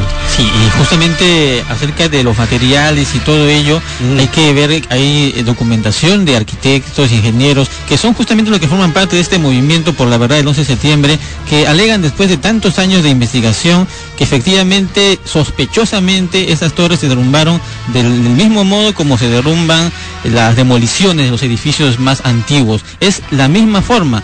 eh, no se derribaron de otra forma, si recibieron un impacto por la derecha, lo más lógico es pensar que se van a, caer hacia el lado opuesto, pero no fue así, fue eh, una implosión, es decir, del mismo modo que se hacen las demoliciones. Claro, otro elemento es que sí es, muy acertado lo que dice el amigo, no lo habíamos mencionado, pero se trató de cuatro aviones. Cuatro Ahora, de los cuatro aviones, es, dos tuvieron impacto con las torres las principales. Uno fue el Pentágono. Ya, una fue el Pentágono. Eh, bueno, es lo que se dice. Si el amigo, eh, bueno, postula, ¿no? Si este, si no se ocurrió con, si no estalló con el Pentágono, ¿dónde está ese avión? Bien, mm. la respuesta está muy parecida a la respuesta de qué ocurrió con el cuarto avión, que supuestamente iba dirigido para la Casa Blanca. Ese avión fue fue eh, supuestamente estaba yendo dirigido a la Casa Blanca y lo que hicieron fue los cazabombarderos norteamericanos, las naves, este, lo, lo, hicieron, lo derribaron, lo hicieron. Porque la versión oficial es de que hubo una lucha heroica por parte de, la, de, los pasajeros como tripulantes contra los, los, que habían tomado el avión. Y ante, y, ante ese amago, ese, ese cruce de, de violencia, el avión se estrelló. Lo que, lo que se postula en las conversaciones es que no, que fue derribado por avión norteamericano. y está el registro de las salidas y, los disparos que hicieron este eh, eh, los los caza que ¿cuál, es la, cuál, sería la fuente? ¿Cuál sería el digamos en qué te basas para decir eso, digamos? Ah, bueno, eh, puedo sugerir aquí entra este un poco no recuerdo los nombres, te soy muy sincero, pero este sugiero por lo menos cuatro materiales de investigación que a partir de lo largo de estos 11 años o estos 10 años este, se han venido dando. Uno de ellos es, por ejemplo, hay un, hay un material que se llama, eh, bueno, conocido de este eh, Michael Moore, que se llama Fahrenheit 911. Ah, Recomiendo ese documental muy bueno. El documental de Michael Moore. Michael Moore. Ganador del Oscar, Ganador del Oscar por el, documental eh, Bowling for Gollum, ¿verdad? Bien, eh, él documentó el asunto en Fahrenheit 911. También es el documental Luz Chang, bueno, el documental Say Hates, en su primer capítulo, el capítulo 1. Y bueno, otro bastante esclarecedor y todos por, lo menos este que voy a mencionar que se llama Misterio del 11S, que ha sido elaborado por este, una recopilación de una serie de personas que han estado en torno a esto. Perfecto, vamos a seguir conversando acerca de este tema y recibo sus llamadas respecto de este tema, sabemos que es polémico y nos interesa mucho cómo se está abriendo la posibilidad de personas que están a favor, otras que están en contra, dicen no, estos son, estos son conspiración, son conspiranoicos. Llámenos 222-0575, 222-0580 y 222-0711. Regresamos con nuestro programa, son las 10 y 36 de la noche y ahora sí, que vengan las noticias.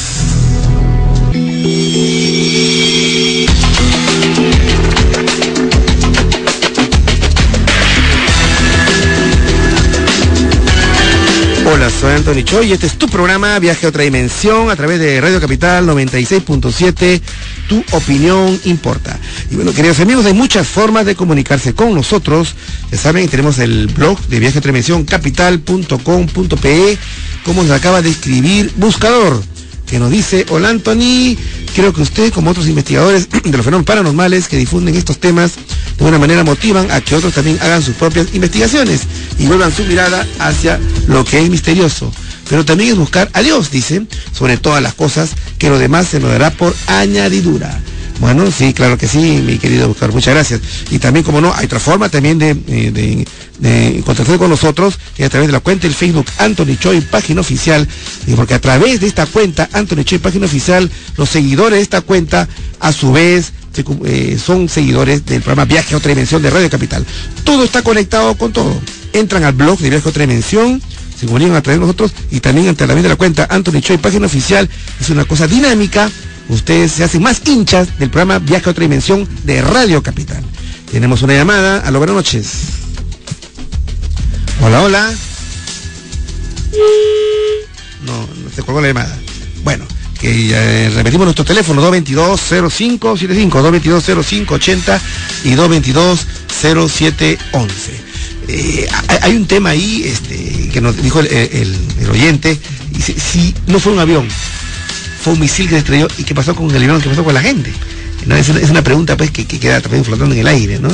Muchos hablan también, por ejemplo, de las personas que fallecieron en las Torres Gemelas y, que, bueno, no encontraron restos, bueno, los restos se pulverizaron. Así es, se encontraron huesos del tamaño de un centímetro, es decir, totalmente explotó, es decir, para que se encuentren partes óseas tamaño de un centímetro o menos, es porque ha sido producto de una explosión. Claro. No hay otra manera en que haya sido. Sí, e inclusive estaba leyendo este informe de este grupo de científicos que habla acerca de que es imposible que las Torres Gemelas hayan caído por aviones, que decía de que eh, el tema de, la demolición controlada cada vez se, eh, se, impone más. Decía, hay una conclusión que ellos sacan acá que dice, un derrumbe por causas no explosivas típicamente amontona virutas de concreto roto, pero la mayoría del material de las torres fue convertido en harina, como polvo, mientras los edificios estaban cayéndose. ¿Cómo podemos entender este comportamiento extraño sin explosivos? Extraordinario, asombroso. Exigimos un escrutinio, puesto que los informes financiados por el gobierno norteamericano no pudieron analizar este fenómeno. O sea, sí, pues, eh, si se cae por explosión es que se convierte en polvo, en harina.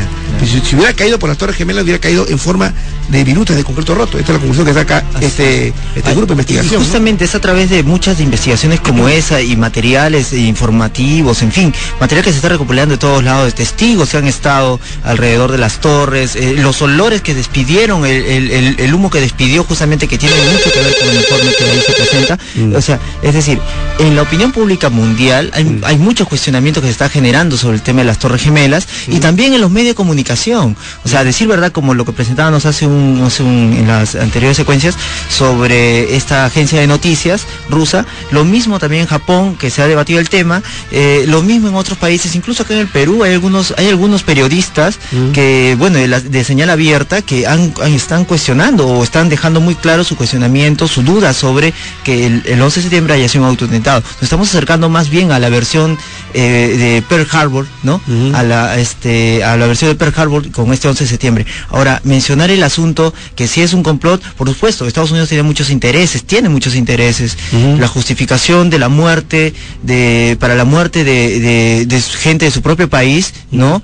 Este, les valió poco realmente, les importó muy poco para llevar adelante sus, eh, sus planes de dominio internacional, ¿no? Y eso tiene que ver con, con parte de esto que muchos ya llaman el, el nuevo orden mundial, que muchos llaman, ¿no? Este, este complot que se está tejiendo poco a poco cada vez más. El nuevo orden mundial y que hay un, un gobierno detrás del gobierno, ¿no? ¿Cierto? Sí, justo el nuevo orden mundial tiene que ver con muchos aspectos, no solamente lo político, lo económico, sino también la parte, vamos a decir, mística o, cabalística. Hace un momento se hablaba de por qué el 11 de septiembre y hemos hecho una recopilación, bueno, de hechos históricos que coinciden con el 11 de septiembre. A ver. Eh, uno es acerca del golpe de Estado en Santiago de Chile. Ah, bueno, Fue un 11 de septiembre donde Pinochet ingresa con todo el apoyo, ahora lo sabemos por documentos desclasificados, todo el apoyo del Servicio de Inteligencia norteamericano. ¿Y para qué? Para iniciar una época de neoliberalismo en Sudamérica y de ahí, bueno, a todo el resto de países. Y no solamente eso, sino también ya más adelante, ya en el año 91, también fue un 11 de septiembre donde George Bush padre eh, anunció la guerra del Golfo Pérsico.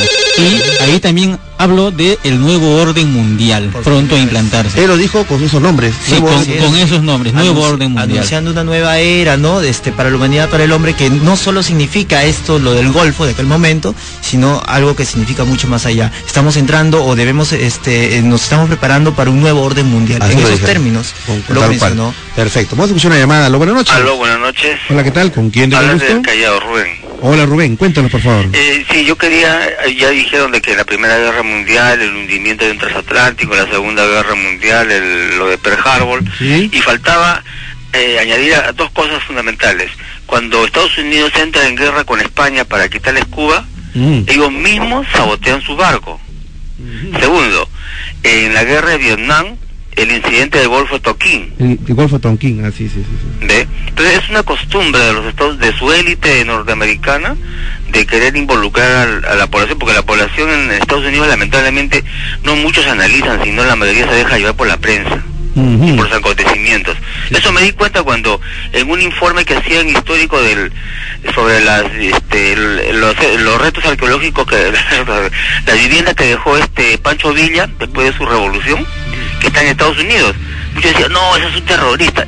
fíjese, este, personas ah, norteamericanas de que han tenido universidad, ¿no? Diciendo que son que Pancho Villa es un terrorista, imagínense. Mm, bueno, ese es cierto, este, uno... ellos, ellos se dejan llevar por la prensa, nada más, no analizan. una de las grandes contradicciones del sistema universitario norteamericano, y yo estoy en Estados Unidos y he conversado con mucha gente, es, digamos, de que el ciudadano común y corriente eh, tiene una total ignorancia de lo que sucede en el mundo. ¿no? Si uno le pregunta dónde queda Perú, no saben dónde queda Perú. o, capítulo de historia universal, no lo saben.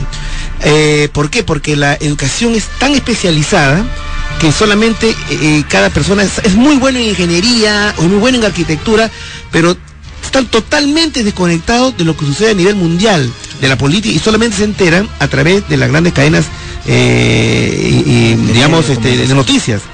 Eso tiene que ver, hace un cierto tiempo, hace un par de semanas leí un, editorial de Aldo Mariatti, el, director de, Correo, que decía la gran ignorancia que hay en muchos de los estudiantes universitarios aquí en Lima, que son de las grandes universidades, las más caras, que son muy buenas en el tema de la preparación técnica, técnica de su carrera, son buenos arquitectos, buenos ingenieros civiles, pero están totalmente desconectados, una preparación totalmente en, términos de política, de política mundial, de la realidad mundial, de la realidad nacional, de cómo funciona el mundo, totalmente.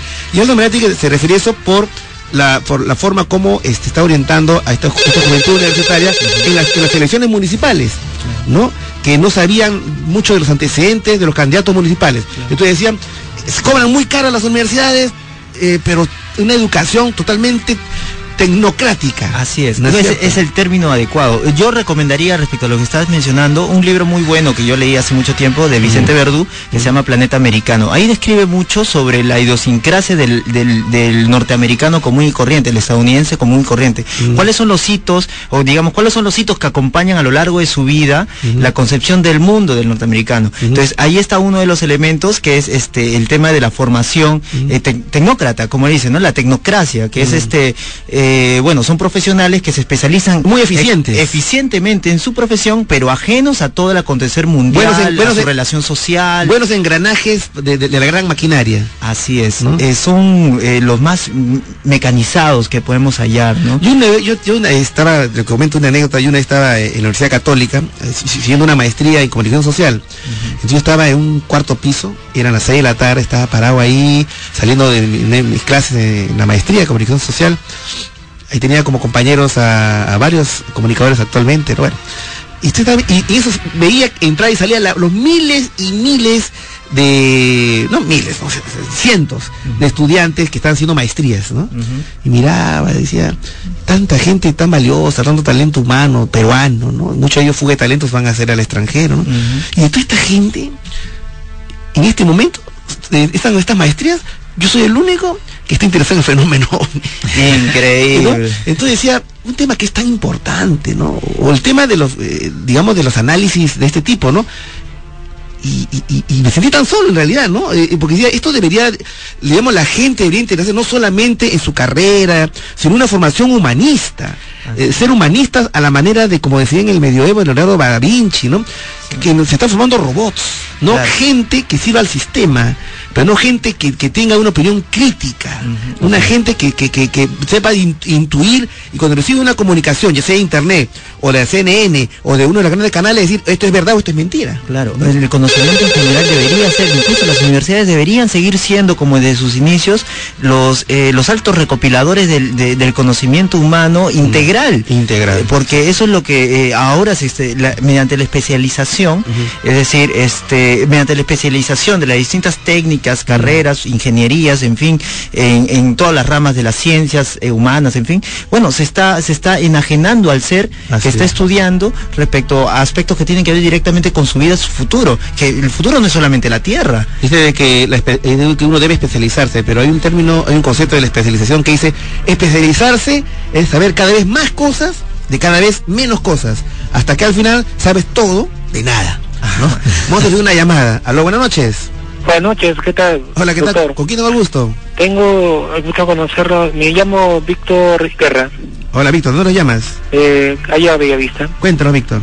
Bueno, quería decirle sobre el día 11 de septiembre lo que se vio, bueno, a través de la pantalla de todo el mundo cuando se estrelló el primer avión. Hubo un caso bien importante. Los periodistas que estaban filmando justamente unos minutos antes que se esté el primer avión, estaban filmando ovnis. Después, cosa curiosa, pasa que en todos los canales que en ese momento están enfocando las Torres Gemelas, se estrella el primer avión. Y en esa filmación se ve que hay un, un ovni que hace como unos deslizamientos de, ondeados, así como una hoja, que trata de avisar al avión que se, que se aleje, como un aviso, pero al final se estrella. Es como si estuviesen avisando o alertando. ¿Tuviste esas escenas en la televisión, digamos?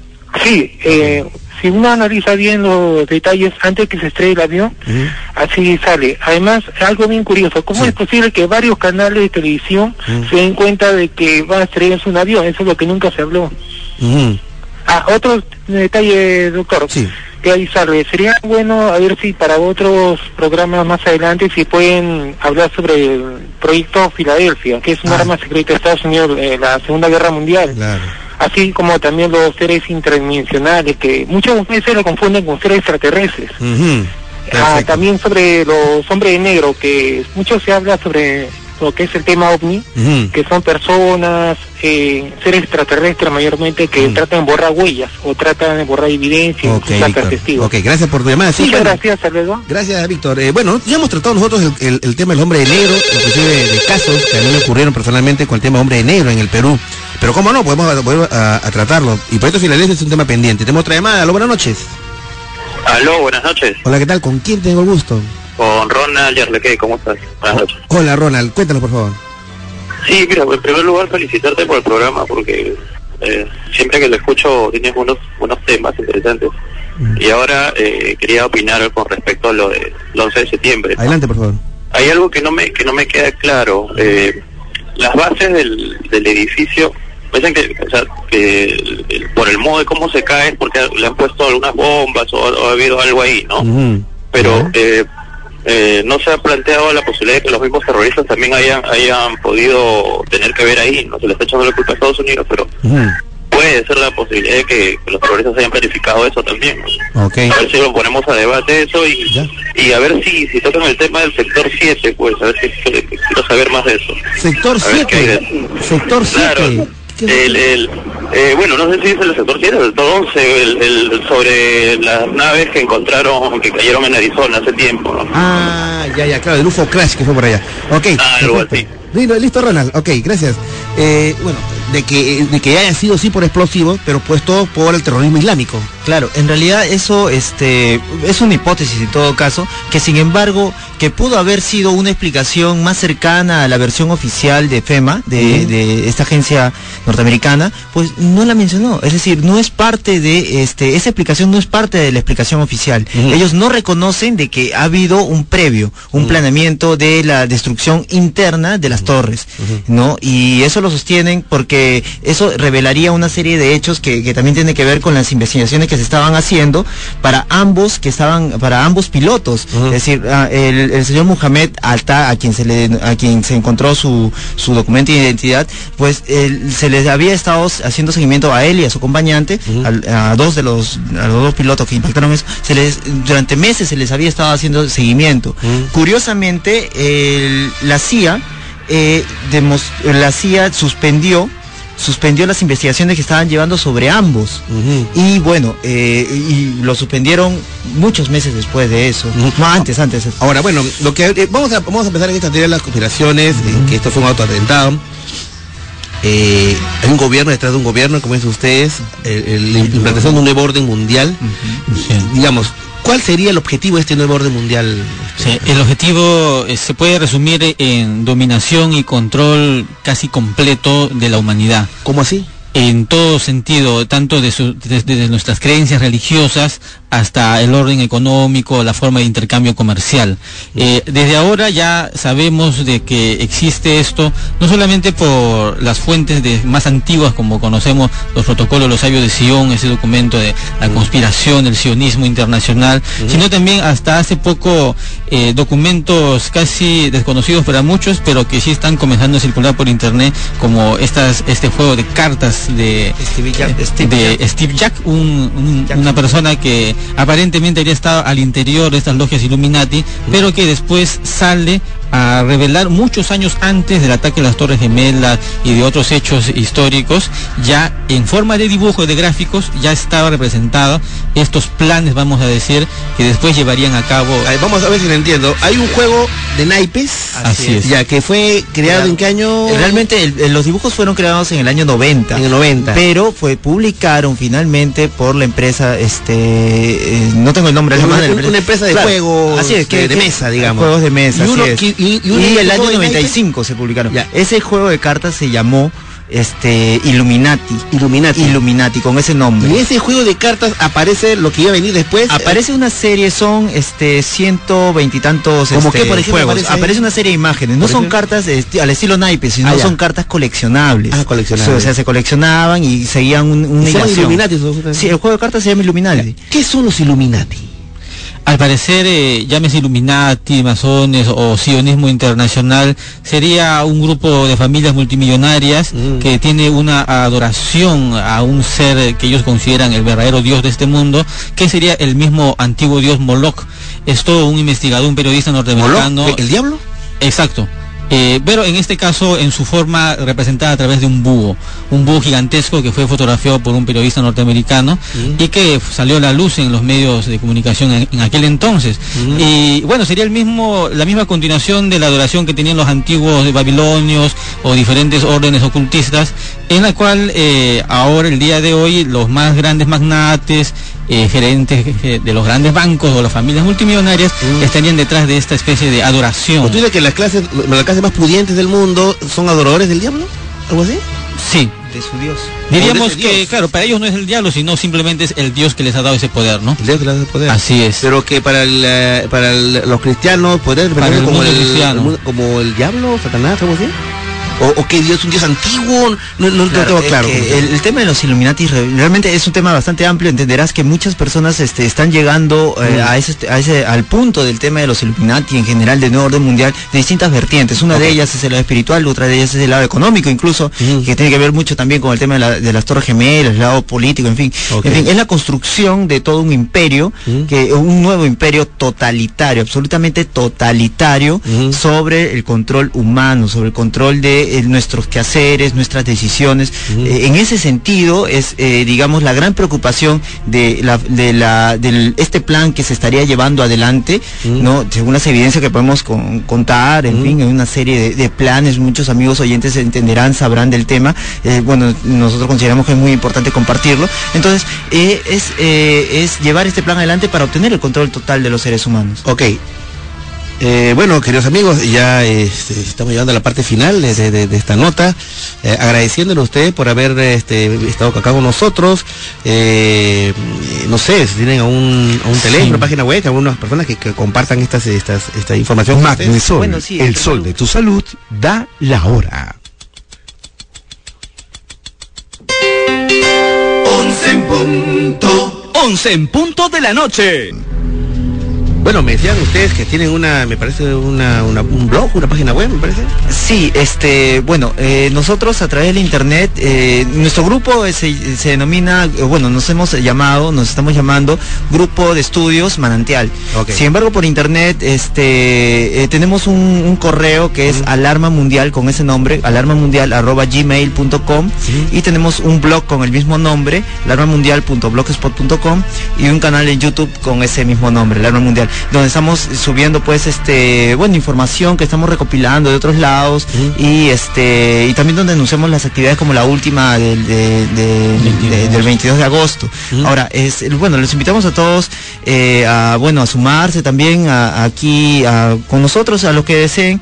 Nosotros estamos, tenemos características, ¿no? O sea, nos estamos congregando personas que asumimos eh, que ninguna verdad puede ser considerada absoluta, ningún conocimiento debe ser considerado absoluto, un espíritu crítico siempre y siempre tener la, la- la duda presente, ¿no? Crítico a la vez y autocrítico. ¿no? Este, manteniendo siempre el respeto que, que, bueno, eso es lo que nos está, eh, digamos, llamando mucho le interesa a muchas personas que estamos hablando visitos Como buscadores de la verdad, sobre todo, que creo que nadie va a negar de que cada uno en su forma de ser siempre está buscando la verdad. y, bueno, anunciar que para este próximo domingo 26 de septiembre también tenemos programado una conferencia relacionada justo a los temas de fechas. Se está hablando bastante del 2012 como encuentro de muchas cosas, alineamiento planetario, profecía maya, eh, manchas solares, etcétera, etcétera.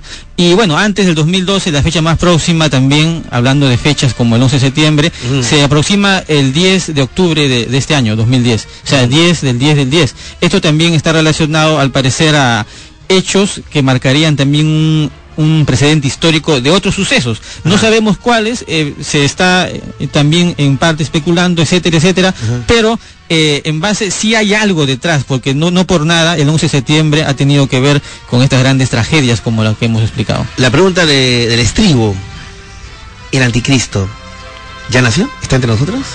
Diríamos Principalmente eh, entendemos el anticristo es el mismo sistema del cual hemos hablado, un sistema bueno, cruel, asesino, que no eh, trepida en asesinar personas para poder lograr sus propósitos de dominio. Es el mismo sistema en base a la acumulación económica, entendemos sería esta especie de anticristo. Y como individuo también consideramos si esto se personifica en un mandatario, en un dictador, en un tirano, por supuesto también existen de esa manera.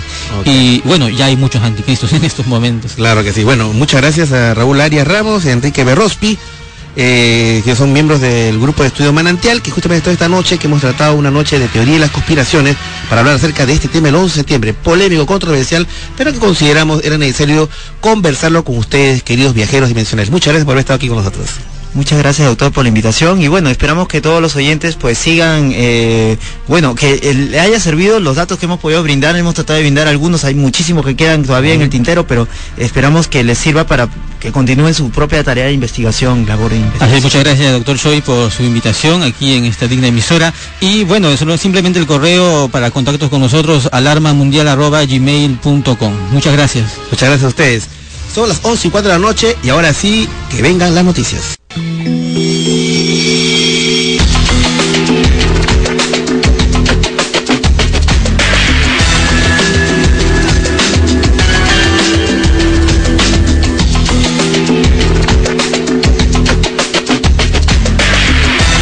soy Andrés Lichoy y este es tu programa Viaje a otra dimensión a través de Radio Capital 96.7. Tu opinión importa. Y bueno, queridos amigos, estamos llegando a la parte final de este programa. Ya saben, he escuchado la promoción. El día de mañana vamos a tener este un tema muy interesante. Eh, resulta de que esta semana, pues, eh, estamos como comentamos, la lamentable, el lamentable fallecimiento de Wendell Stevens, uno de los grandes ufólogos a nivel mundial. Con él estuvimos en el año 2003. Este conversando largamente. Y bueno, él fue un investigador que entre otras cosas puso eh, en el tapete el tema de la historia de Billy Mayer, este suizo que logró tomar, según lo su historia, las fotografías más interesantes y videos más interesantes del fenómeno por su claridad, ¿no es cierto? Y vamos a explorar mañana ese tema con unos especialistas, porque es muy importante para nosotros que hablamos de, este, de, todos estos temas tan controversiales, eh, de una manera, pues, en las investigaciones, ver hasta qué punto la información que nos llega es, verdad o mentira. Y siempre lo de Billy Meyer, que fueron pues, fotos sensacionales, tomadas en los cantones suizos, en paisajes preciosos, inclusive videos durante muchísimos años, fueron en diferentes conferencias o congresos de ufología, considerados como las pruebas, pues, eh, a uno, ¿no? del tema. Eh, pero después han venido una serie de cuestionamientos y en el fondo tratar en el tema de Billy Mayer es tratar, como no, el tema de las pruebas que hay con respecto al fenómeno OVNI, ¿no? Si los que pensamos que ese, fenómeno es real y que somos visitados, hasta qué punto tenemos las pruebas o, las fuentes son fidedignas. Por eso que el día de mañana vamos a estar acerca del caso Billy Mayer, ¿no? Venimos de las Pléyades, la extraordinaria historia de Billy Mayer. También queremos anunciar mm, que si vienen muchas aventuras eh, para, eh, de viaje a otra dimensión. Eh, muy pronto vamos a hacer una reunión con, totalmente gratuita con todos los viajeros dimensionales, con todos ustedes, queridos amigos, que nos escuchan para conocernos, abrazarnos intercambiar ideas, conversar, escuchar las historias en vivo y en directo. Así que pronto, pronto anuncio que va a haber una reunión en un lugar público, eh, que todavía estamos en, esas coordinaciones, un lugar público céntrico, para que vayan, ya saben, ya sea pues de, desde, desde Miraflores, Jesús María, eh, que vayan pues de, San Juan de Lurigancho, San Juan de Miraflores, de Comas, Carabello, toda la, gran audiencia que tenemos en, nuestro programa, nos vamos a reunir, eh, lo más probable es que va a ser hacia fin de este mes, así que pronto pronto estaremos anunciando eso. Y como no, se vienen nuevas aventuras, visitas, vigiles ovni y visitas a lugares más paranormales de Lima.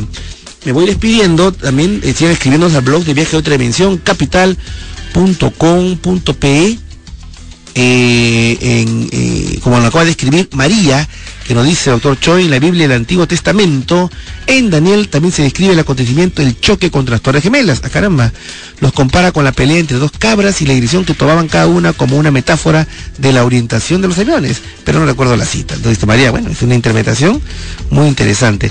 A todos, sigan escribiéndonos por favor al blog de viaje televisión capital.com.pe.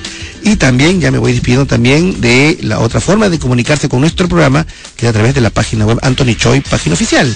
¿No es cierto? Ahí también sigan escribiéndonos a toda la gente que nos manda información, links, correos, datos, fotografías que, también sirven para alimentar, ¿no es cierto?, a nuestro programa. Un fuerte abrazo para todos ellos. Y bueno, queridos amigos, me voy despidiendo eh, en este programa sábados y domingos de 8 a 11 de la noche a través de Radio Capital 96.7. Tu opinión importa. Nos despedimos con una, de las canciones más bonitas, digo yo, eh, del cancionero de, de Vieja Otra Dimensión, Canción de Lejos, ¿no? Canción de Lejos me parece que es. Canción de Lejos, una de las canciones que fue de una de las aventuras que tuvimos en el norte de Argentina. ¿Perdón? Ah, vamos a repetir la promoción. Ah, repitamos la promoción para que escuchen el tema de mañana. Sus fotografías y videos son considerados como los más sensacionales de la historia del fenómeno OVNI. ¿Podría ser esta historia de contacto extraterrestre el más grande fraude de la historia? Este domingo, 8 de la noche, de las Pleiades, la extraordinaria historia de Billy Meyer, el viaje a otra dimensión con el doctor Anton Choi por Radio Capital 96.7. Tu opinión importa. Bueno, ya saben, está planteado el tema. Eh, el día de mañana estaremos con, venimos de las playas de la estrenada historia de Billy Mayer. ¿no? El, tema del 11 de septiembre, un tema controversial, el tema de las teorías de las conspiraciones. ¿no? Eh, ojalá, ojalá que nunca se dé pues un gobierno mundial que quite la libertad de la gente, ¿no es cierto? Eso es lo que nadie quisiera. Sobre todo para nuestros pueblos, ¿no? Los pueblos ávidos de libertad y de búsqueda de la felicidad un pueblo que al que tanto admiro, que es el pueblo norteamericano, que nos dio un ejemplo de cómo debe ser esta primera potencia, el avance, la tecnología, el desarrollo, pero que también ha tenido, como no, eh, como todo pueblo, sus luces y sus sombras. Pero yo quiero rescatar, ¿no es cierto?, la riqueza del pueblo norteamericano, al cual admiro y mucho, que nos dio pues eh, a personas como eh, artistas, ¿no es cierto?, en, todo orden de cosas, como Ernest Hemingway, por ejemplo, en la literatura, eh, y en el cine, por ejemplo, ¿no?, a, grandes directores de cine, ¿no es cierto? Entonces, el cine hollywoodense, el cine La fábrica de sueños, el séptimo arte, eh, y tantas otras otras manifestaciones artísticas que creo que son condiciones del, espíritu humano, ¿no es cierto? Lo que puede llegar a ser el espíritu humano. Ojalá que nunca nos sea arrebatada nuestra libertad.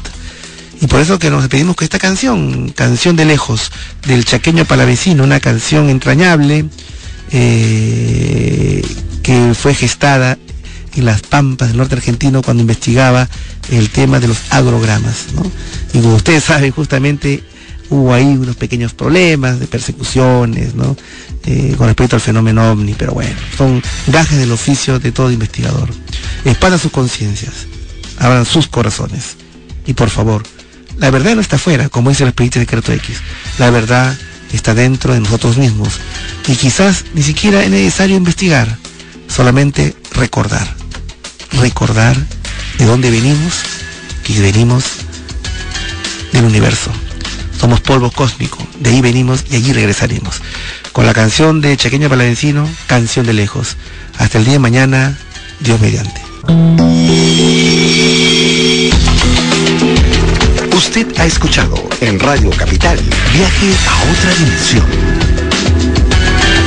Nos volveremos a encontrar mañana domingo a las 8 de la noche.